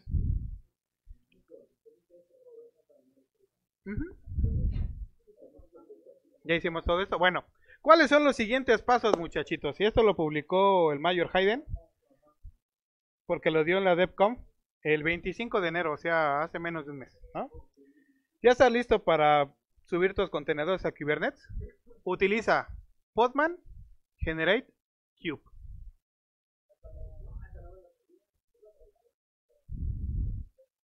No, hay, hay una tecnología que está todavía en desarrollo, en pruebas, pero que sí funciona, que lo que podemos hacer es que el pod lo convertimos en un archivo YAML y el archivo YAML nos lo carga.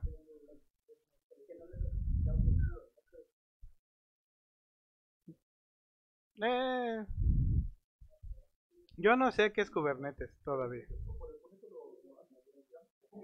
Sí. Sí, eh, meternos en Kubernetes también es otro choro, ¿no? Así, choncho. O sea, con lo que yo con lo que yo quería terminar esta plática es que después de trabajar con contenedores y entender todos los conceptos y entender que podemos hacer un pod, toda esta chamba la podemos eh, subir a Kubernetes, que es más o menos eh, está basado en lo mismo, o sea, de hecho el, el, el concepto de pod lo creó Kubernetes, para esta cuestión de la elasticidad, del escalamiento, etcétera. Pero lo que estamos viendo con los contenedores es como que algo básico. Pero todo este trabajo lo podemos subir a un nivel todavía mayor con Kubernetes.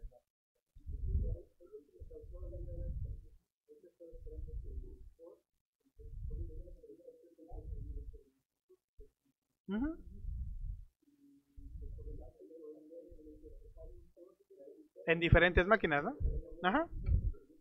Sí, a final de cuentas aquí es el siguiente paso, ¿no? O sea, porque aquí todavía dependemos de lo que tenga nuestra máquina local, o en este caso nuestra máquina virtual. Pero con esto, por ejemplo, podríamos probar hacer los YAML y podríamos probar en algún momento instalarle a otro laboratorio pequeñito eh, Kubernetes y ver si funciona. El Minikube, por ejemplo.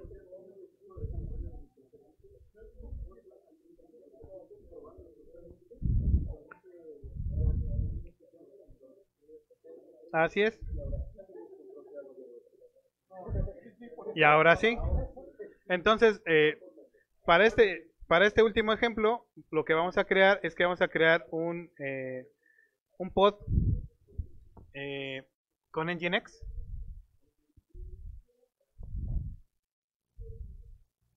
Que se supone que igual está pequeñito. Ahí está. Poco pequeñito.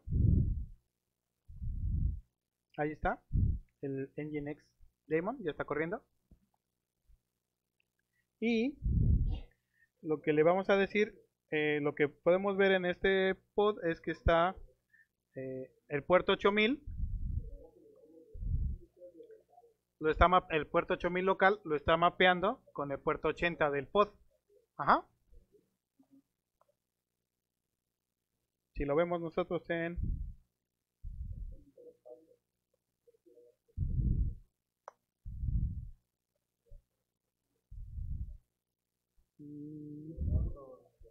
es que eh, nos devuelve aquí. Es que no sé si se alcanza a ver. es un stream. Es texto. Sí. Es que mm, realmente no es una página web lo que estamos viendo. Es información. Son datos.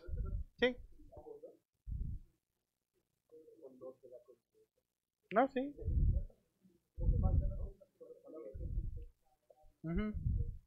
O sea, no está, o sea, no está definido, vaya.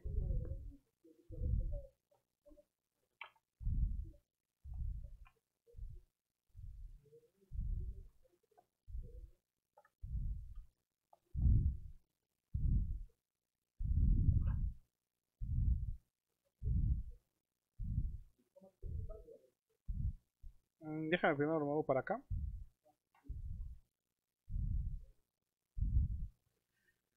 Entonces...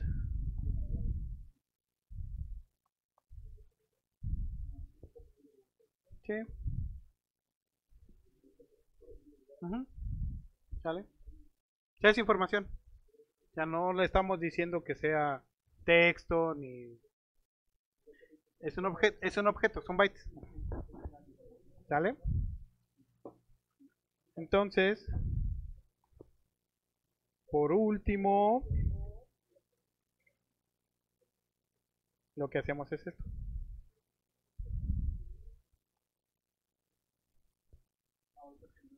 Ujú. Ujú. Estoy creando el deployment de este de este pod. No.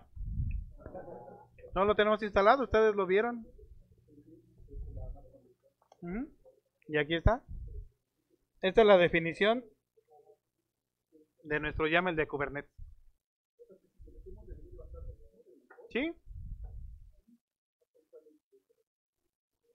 Esta es la definición del, pod en, Kubernetes. Ajá. Digamos que ya acabamos de hacer nuestras pruebas, yo ya acabé de hacer todas mis pruebas, genero el, el YAML, ya lo puedo subir a Kubernetes.